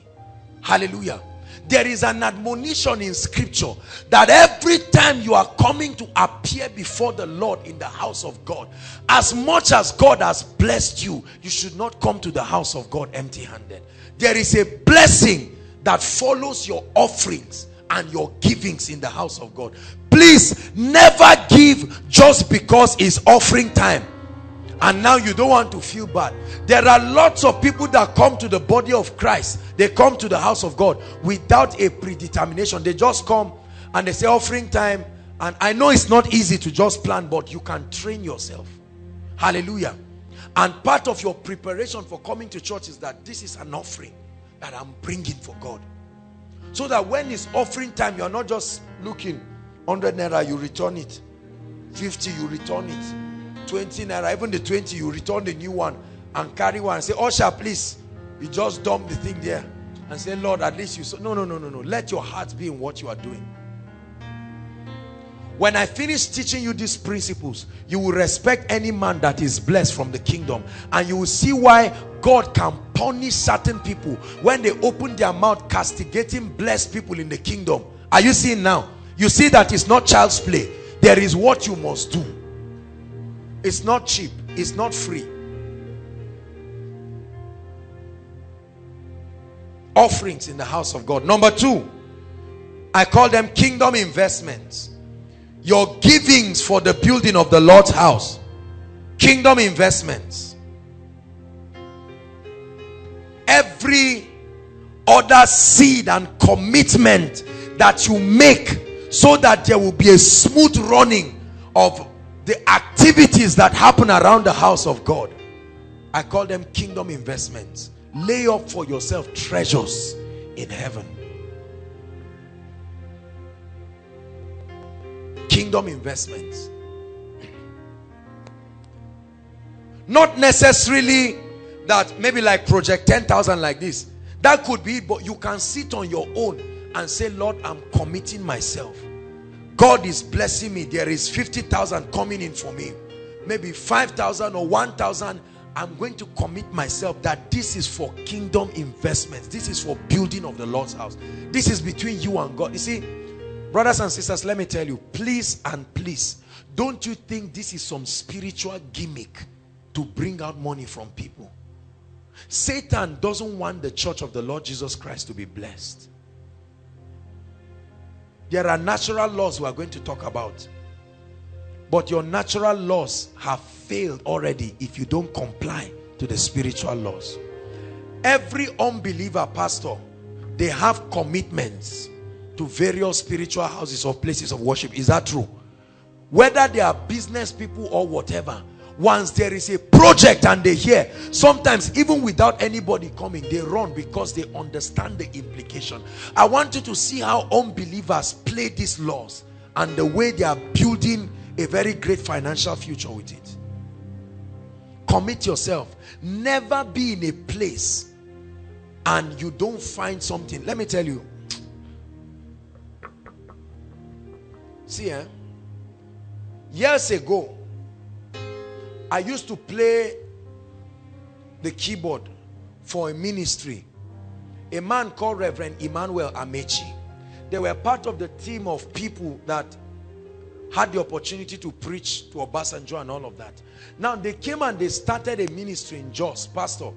I used to go and play keyboard for them. Listen, nobody ever gave me one naira. Are you getting me? I would trek from my house. Maybe sometimes after I come back from my local assembly, I will go there and I'll play keyboard for them. And I will play with all my heart. I was responsible for my finance and everything. That's the law of seed time and harvest. Are you getting me? Kingdom investment does not just mean money alone. Your participation. Every worker in the house is participating in the building of the kingdom. This is practicing the law of seed time and harvest. It's not just your finance alone. The Bible says you will reap where it, it didn't say you reap where you sowed, it said you reap what you sowed. So even if you are not here tomorrow, that thing will still bless you. Hallelujah. The only thing I remember getting in that ministry was one bottle of Fanta, I think, and then one cassette during the launching of the man. That was all I ever got. Is my own keyboard, oh, pastor. I will carry it, maybe bike or sometimes from my pocket. And I will go there, but I was doing it joyfully. God is my witness. I never complained once to say this man. It was even my parents that were saying this, this, this boy is a small boy. What is all this one again? But I was doing it joyfully. But God was watching. This is what happened to David. While he was tending his father's sheep, God was seeing him and saying, I'm seeing the heart of a king in this shepherd. Many of us, when you see certain people, you don't know what stories and experiences made God to vow some vow about their lives. There was something Abraham did that made God to vow that in blessing, I will bless this guy. These are the kinds of people that the Bible says he reproved kings for their sake. Are you listening to me? He suffered no man to do them wrong. He reproved kings for their sake, saying, touch not my anointed and do my prophets no harm. How much are you committing yourself? How much are you committing your resources? Brothers and sisters, kill greed this night. Kill greed this night. I saw lots of things in my family that I did not want and I made up my mind that I was going to change a lot of things in my life. I have seen this thing work in my life. I have seen this thing work in my family to the glory of God. And I have seen this thing work by the grace of God in this ministry. As a ministry, let me tell you, we have done some dangerous things. I will not begin to say it here. Maybe as we proceed, we may say a few of them when you see God blessing us and there is an open heaven, find out, find out. There must be something working. And this is what we are teaching. Hallelujah. Kingdom investments the building of the Lord's house from today. Make up your mind.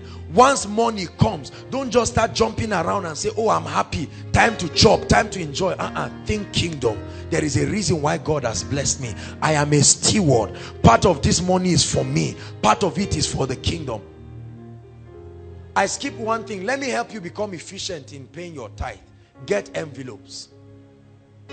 Get envelopes. Get envelopes and just put them close to you so that when money comes, before any devil will come and confuse you, you have put your tithe quickly. Put it and remove it, seal it and take it away from your presence. Many of us have had tithe of three months piling close to us. One day the thing gets tough, you just open one. You know, many of us do a lot of funny things. And the fact that God kept quiet about it is because he knows we are humans and is allowing us to grow. A day will come, you will receive the gravity of that disobedience. Don't touch your tithe. It's holy unto God. This is not to threaten you. This is just the truth. It's how the law of the kingdom works. Hallelujah. Two more and then we'll pray. First fruits. Many people have asked me so much question about first fruits. I'll just touch it briefly. This is one of the ways that we can express our givings. Now, um, look up. What is first fruit? In scripture, the concept of first fruit it was ordained by God it was practiced by the Jews it was not just part of the Jewish law. The concept of first fruit listen this is the spirit behind the activity. If you don't understand it even those who practice it do it religiously. Or they do it because some churches have register all the members if you drop your first fruit you sign. Later they call you and say ah elder what is wrong this is March. You have not dropped anything. They didn't pay you. And it so happens that many churches, the employers and the employees are in the same church. So, and the boss is part of the working committee. You can't lie that they didn't pay you. You see, all those kind of things. So let's get it very straight here. Does first fruit exist? Yes. But listen, is first fruit compulsory? No. The same way saying is bathing compulsory? No. But not bathing creates consequences, correct? Are you getting me now? Your first fruit is a symbol, is a prophetic way of honoring God and showing him, I'm sorry, that he's first in your life. Are you listening to me? First in your life. That when you take your first fruit, and now I'll, I'll explain it in details, and give the Lord and say, Lord, I'm honoring you. Maybe the first profit of your business or maybe your first salary as a worker there are different ways that people practice first fruit. Others maybe january there are churches and people who their salary for january they take it to god and everything and all of that. Is it's not just about giving god money. It's about telling god that you are first in my life. Are you getting the concept now so if you just bring money and just throw and you are frowning around and say these people say very wicked people. I hate January. Every January is the time they eat our money. No. Understand the spirit behind what you are doing. Bless you. If you do not practice first fruit, it doesn't mean that you're not going to enjoy the blessings of God. It's just that there are certain dimensions you may not be able to enter. As simple as that. Are you getting me? Your tithing, your giving, your kingdom investments, they all have their inputs to your financial life. It's like saying if you don't do extramural, will you pass JAMB? You know, that's the question. It depends on many factors, the kind of school you went to and all kinds of things like that. But it will always be an advantage and it will add to you spiritually. First fruit. Please, never allow anybody to put you under force and pressure and try to threaten you with a curse. To say Sam I'm waiting for your first fruit. If by next week you don't bring it upon this altar I will stand on this altar and provoke a God ah, please don't let anybody confuse you. There are many people there are many men of God that are bullies. They bully members with all kinds of prophetic prophetic messages and they get it very serious. They say i saw a vision. A curse was coming upon the church and those who did not give first fruit they were affected. And everybody just runs around and say carry and give him please. Just give him. Less rest. Everything that is not done out of revelation will not profit you. Are you getting what i'm saying? I'll just leave it there. So first fruit is very important. As you grow in your giving and you see the benefits of giving you see that's why our walk in the kingdom is by faith. There are many people, their faith cannot carry them beyond certain things. So don't be angry if both of you are blessed and you see somebody making certain progress. There are certain laws he's practicing. Please, are you getting me? I don't want to go into so much detail. I'm just giving you what we need here. The last one that I'll talk about is the concept of what we know as prophet's offering who have suffered because of this thing. Let's clarify it once and for all. Is there such a thing as prophet's offering? Are you blessed tonight by what i'm teaching you? Praise the lord. Two scriptures second kings 8 from verse 8 and 9 what is prophet's offering? Now look up. In ancient times listen please.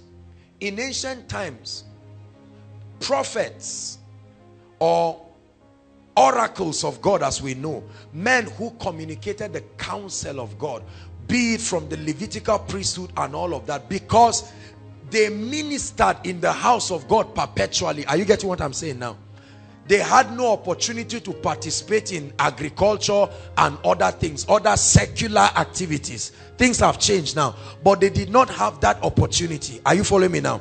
And so there were ordinances from God that it was not good and it was not a blessing to go and meet a prophet of God, a true man of God, to go and meet him just empty handed like that.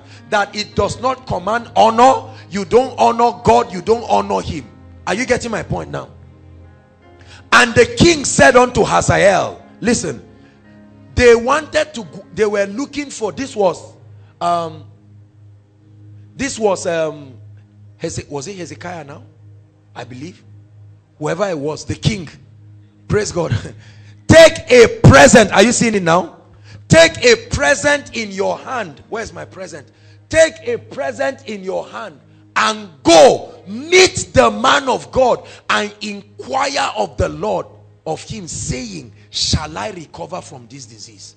The king told the man, don't go and meet a man of God empty handed. He said, take something in your hand as a sign of honor.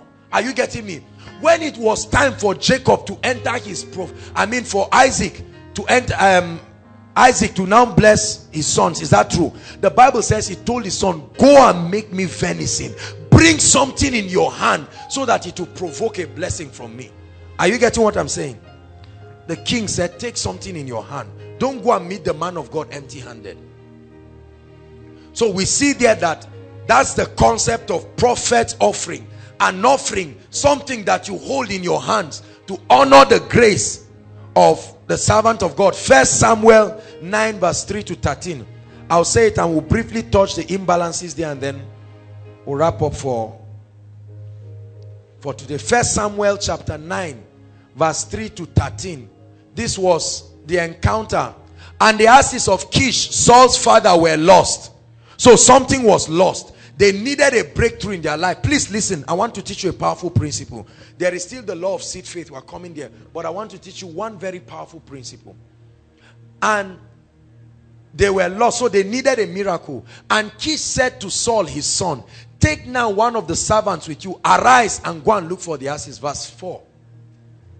And he passed through the Mount Ephraim and passed so on and so forth and all of that. But they did not find it. Verse 5. And when they were come to the land of Zuph, Saul said to his servant that was with him, Come and let us return. Let my father leave caring for the asses and begin to take thought of us. Verse 6. Listen, he says, And he said unto him, Behold, now there is in this city a man of God. Everybody say, A man of God. And he is an honorable man. He said, All that he saith cometh to pass. Now let us go and meet him. So they were confused. They needed breakthrough in their life. Are you getting me now? This was Saul and a servant. And he said, let's go back. Our father will be worried. He said, no. In this city, there is a man of God. There is an honorable man who is able to solve our problem. He said, let's go and meet him. The word of the Lord comes to, to pass in his life. He said, peradventure, he can show us our way that we should go. Verse 7. I want you to know that this was a culture that was practiced among the ancient. And that's why a lot of them got lots of blessings. Then said Saul to his servant but behold if we go what shall we bring to the man? Are you seeing now? They knew that it was unlawful to go and meet a man of God just empty handed to say we have come to meet you and and all of that. He said for the bread is spent in our vessel and there is not a present to bring to the man of God. What have we? Verse verse 8 now. And the servant answered Saul again and said behold I have here a in at hand a fourth part of a shekel of silver that I will give the man of God to tell us our way are you following me? And so on and so forth and then they met a man and they brought the gift and he told them and he called he was an uh, he called Saul an anointed Saul. Are you getting what I'm saying? So the concept of prophet's offering is simply a spiritual way of approaching a man of God with honor knowing listen knowing that God can use him to bless you and solve your problems. Now today in our day is the concept of prophet offering applicable? Absolutely. It is applicable. It's simply the law of honor. Whether you call it prophet offering or whatever it's simply the law of honor. Let me teach you something brothers and sisters. It should not deter you that you don't have maybe money to give and you cannot go and meet a man of God. Now, I'm aware that there are lots of men of God. If you come and meet them and you don't have anything, they don't hide it there is a basket or there is something nobody will even tell you as you are entering. Those who are taking you there say mr man. Hold your 30,000 there are even those who have put their bill they have suffered enough. They said look i won't be foolish again. Prophecy 30,000 this and that and that. And it's working for certain people. They may not be necessarily fake but i think it's inaccurate. Are you getting my point money and anointing does not mix together. People are supposed to do things out of revelation. However on your own part i never go and meet a man of god higher than me without nobody comes to my house and not get something. There must be something. I must insist that you take something. Is the law of honor. There are some of us who are fond of you know and please i hope you know that i'm not threatening you and say start packing. God has blessed me God doesn't owe me anything at all. Are you getting my point now? So don't think it's just some gimmicks to steal out money from people. No, no. My blessing is not tied to you. My blessing is tied to my practicing the kingdom principles. Imagine if God, if I was totally dependent on you for my blessing, I would have died by now. ah, yeah, yeah. But God is faithful. Praise the Lord. Do you believe what I'm sharing with you? I will never go and meet a man of God higher than me. Even if it's just to greet even if he comes into a city there are men that I hear that just came into Zaria for a program. I'm not even related. I'll package something maybe a tie or wine or something. I'll say quickly take it to that man of God. Just tell them I went to I, I want to greet them.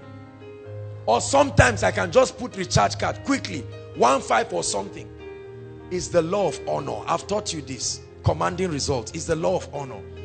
If you've been doing it, stop it. Many of us on your way to go and see a man of God, you branch a, a, a restaurant, Chicken Republic, you blow 5,000 there, you finish eating and you belt, you say, hey, by now, let's just go and see him.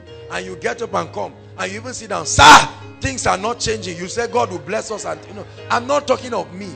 It's, it's very bad. It's dishonoring very dishonoring. So while on one side we don't just teach people that if you don't have a gift it means the anointing will not flow he will not bless you. That's erroneous. But let me encourage you. I want to encourage you. Have it as a spiritual culture.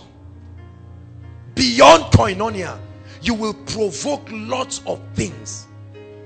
There are places i go to minister and i tell you the way they treat me and the kind of honor they give me I find out that there are unusual open heavens. Even certain things that I don't want to share I find myself sharing it. A seed can provoke something in your direction when you honor people. He said honor your father and your mother. It's a law honor people.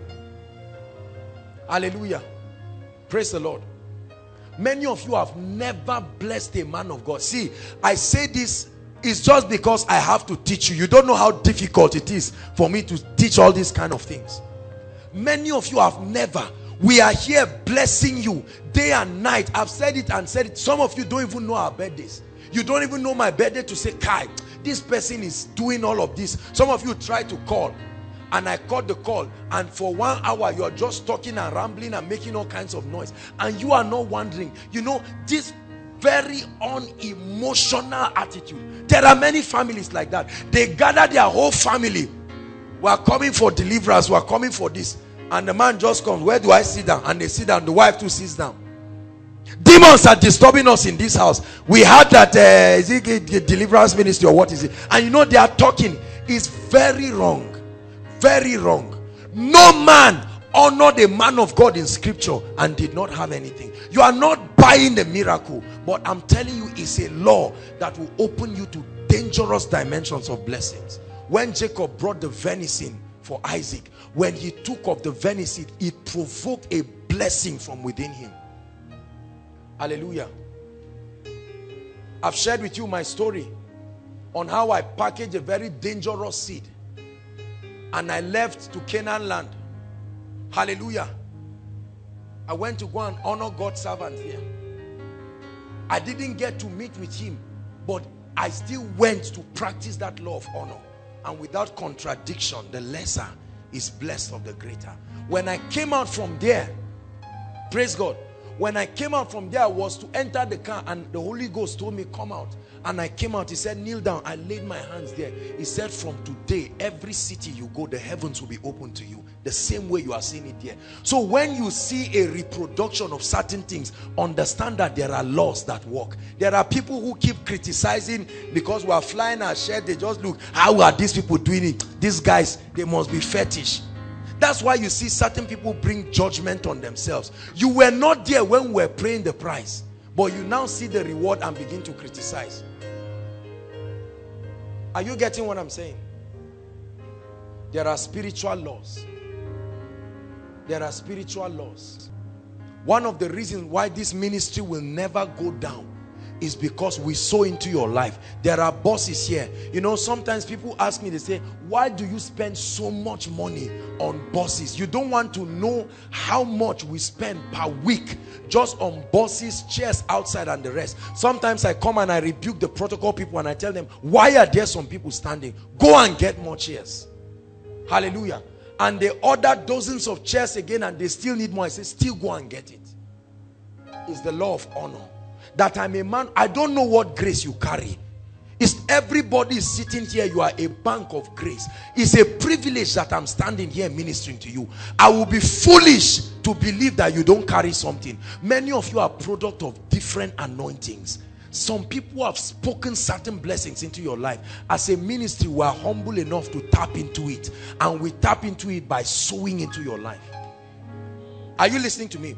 When we wanted to contact the spirit of excellence as a ministry, we looked at COZA, the Commonwealth of Zion Assembly, and we looked at them and we found out that these guys had a level of excellence we wanted. We carried all the leaders, all the heads of departments and the ministers and myself. We went to Abuja. Some of you were there. We lodged in a very expensive hotel. It cost us so much, but it was the law of honor. Let me tell you, when we got to COZA there, we went and we humbled ourselves. Our head of department, media, went to meet their head of department and walked there. Our head of protocol went to meet their head of protocol and walked there. Are you getting me? Honor. And of course, we cannot go empty-handed. We went there when we finished everything. The pastors came and the senior pastor came. They just humbled themselves. I can brag and say, look, I'm a man of God. I'm, I, am seeing uncommon demonstrations of the Spirit. There is always something you do not have. You must learn how to receive it. And we went and we humbled ourselves there and they spoke to us. We have seen certain levels of excellence, but when we came back, we came with a spirit and an anointing. Many of you have missed out on many anointings because you dishonor men of God. You are not, see, the way many pastors suffer in many ministries.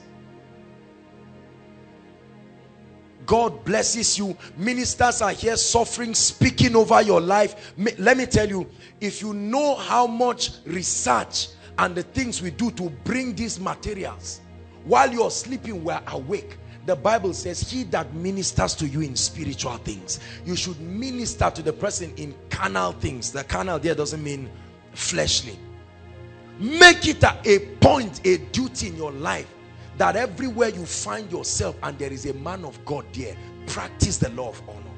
As much as possible, please don't feel bad from today to say, okay, you are coming to greet me, I don't have anything. Don't feel guilty at all. Are you getting me? But I'm teaching you there are many people who don't have the means sincerely, but I'm teaching you is a law. Begin to practice it. Hallelujah. I'll never forget one time I went for a ministration in, in a particular city. I won't call it because there are so many people downloading the teachings. And I was so humiliated. Pastor, I felt so bad. I said, Lord, this is not fair. When I went to that city where they kept me, I was going to ask the people and say, please, where is a very good hotel here. Let me relocate and book for myself and stay. I didn't come for slavery here to come and stay here for God's sake. It was a horrible place. When it was night, one sister just entered quickly as if I'm going to sleep with her. Bam, bam, bam. She just pushed the door, drop everything and ran away. I said, what is all this? When she brought, listen, I'm trying to communicate a point. She brought this whole thing and I just sat down. I greeted her. She didn't even answer. Dropped everything and then she sped out. I opened it. They made indomie and one egg with lacasera. I had spent that day. It was a very far city. I said, Lord, is it that I could not take care of myself? You have been faithful to me. What is all of this? I don't take indomie. I don't take lacasera. Listen, I need to say this. If this is all I say, we'll, we'll, round up now and pray. There are many of you who want to invite a man of God. Don't bring a man that your, your financial, if you cannot honor his grace, be patient. There are so many people that want to bring men of God. I want to bring this. We must bring this person. You are not ready to cater and take. You bring any man and humiliate him. You will bring war on yourself. I'm teaching you a powerful spiritual principle. I had to go and buy malt that night. I just bought malt. I took it. I gave thanks. And honestly, I was not offended. Praise God. The next day, nothing. There was no breakfast. They didn't ask whether I'm fasting or I want to eat. Later, they just came. They say, we have come. The car, they carried me. They chartered one car. At least do something presentable. Are you getting my point? It was hot. It was horrible. I was humiliated. I said, goodness, what is this? Oh God. I said, well, Lord, I'm, I'm, I'm, I went and it was a great meeting. God blessed all the people. I paid my flight ticket from here to the place and I did everything. When I finished, by afternoon, they brought okra soup for me and something. You know, they just came and dropped it. You know this, this, um, this cooler, this one, that this small one, that's what they just came and dropped. And three or four pure water or something. I said, what is this? I'm not exaggerating.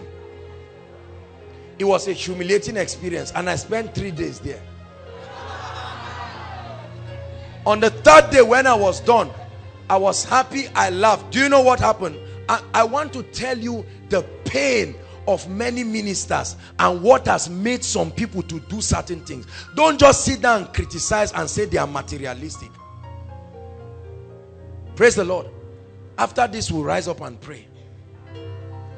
This is what happened.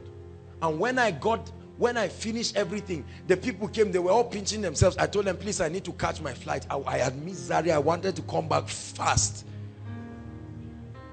Hallelujah. And then when it was time, the president just came. The envelope that they put the honorarium, you will know that it was not organized. One, you know, envelope that they've written something, then you just strike it. I'm serious. And he carried it and packaged. It It was not up to even half of my flight ticket. He just brought it and said, sorry, you know that we are, we are starting, we are managing and all of that. And I just blessed him, blessed everything and sold it back into them. Not because I was angry. Imagine if I had left everything and I came by faith. Are you getting me now? That I came by faith and say, I'm going to bless these people. Some of you do not know the pain. There are many men of God that are bleeding. There are many people that are punishing themselves, investing in the house of God. You forget that these people have lives. Are you getting my point now? While you are sleeping they are praying for. It's a different thing if they are not serious. But where you see a man that is committed to your spiritual development let me tell you you rob yourself of certain dimensions if you do not bless them. Again if you don't believe this there is no problem. But i'm teaching you a very powerful principle. I always seek to give and not to take. This is why you see certain people entering some strange order of blessings it works. Never invite a man of God you are not ready to honor his grace. If you don't have the means be patient. Don't come and humiliate a man. A man has a wife he has children. He must pay the school fees of those people. He's commit this is why a lot of men of God get into all kinds of manipulation because of the pain they are going through. The, he now comes back home and the wife is saying honey well done. Oh three days I missed you Alpha, no, nothing for the soup. And the man says, man, God was glorified. The wife said, okay, so when will we be glorified now? We have glorified God. Hallelujah. Prophet's offering is real. It exists. Next week, we'll take it up from there. Rise up on your feet. Begin to pray and say, Lord, thank you for your word. Our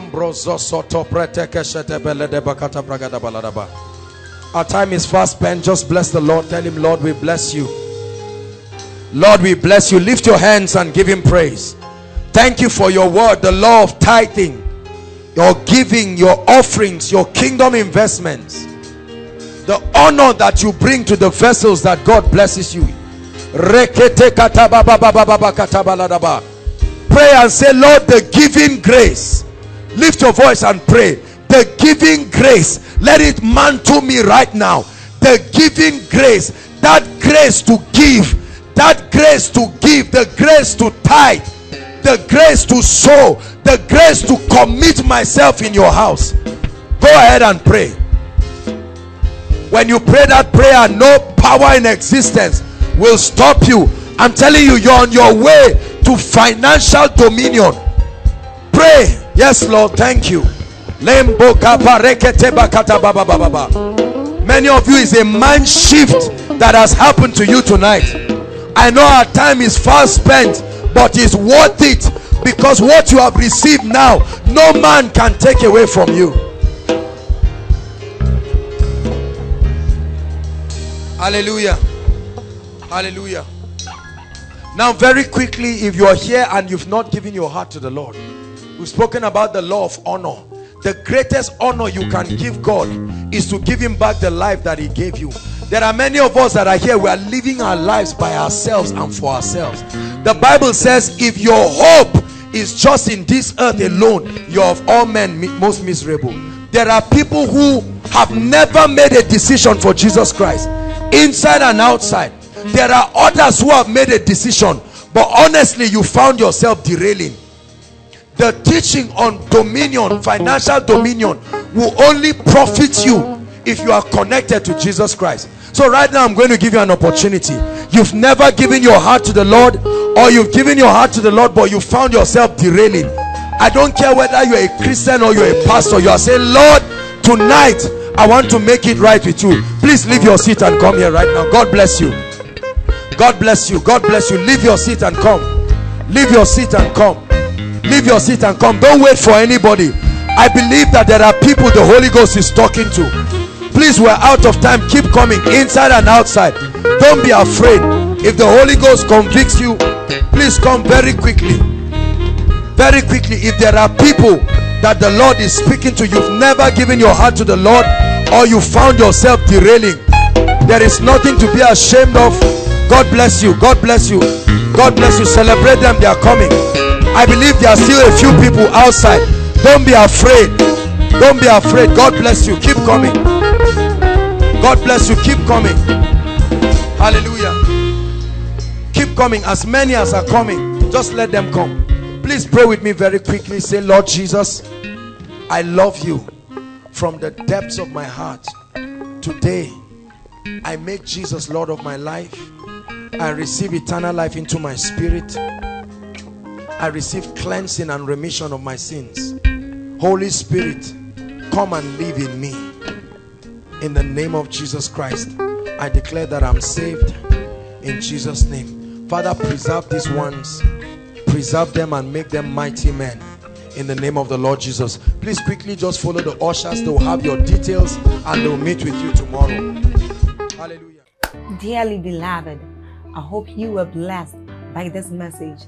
I want you to keep doing something for this man of God, our man of God, Apostle Joshua Selman and that is I want you to keep on praying for him that the cause of the gospel may have free flow in him, that he may be granted boldness to continue with this commission of Jesus Christ, and that all provisions be given unto him as he continues in this journey of Christianity. And then don't forget to like this video. Don't forget to hit the subscribe button if you are new here. Don't also forget to leave a comment in the comment section and then keep sharing keep sharing abroad and let's all keep sharing jesus. I'll see you again. Bye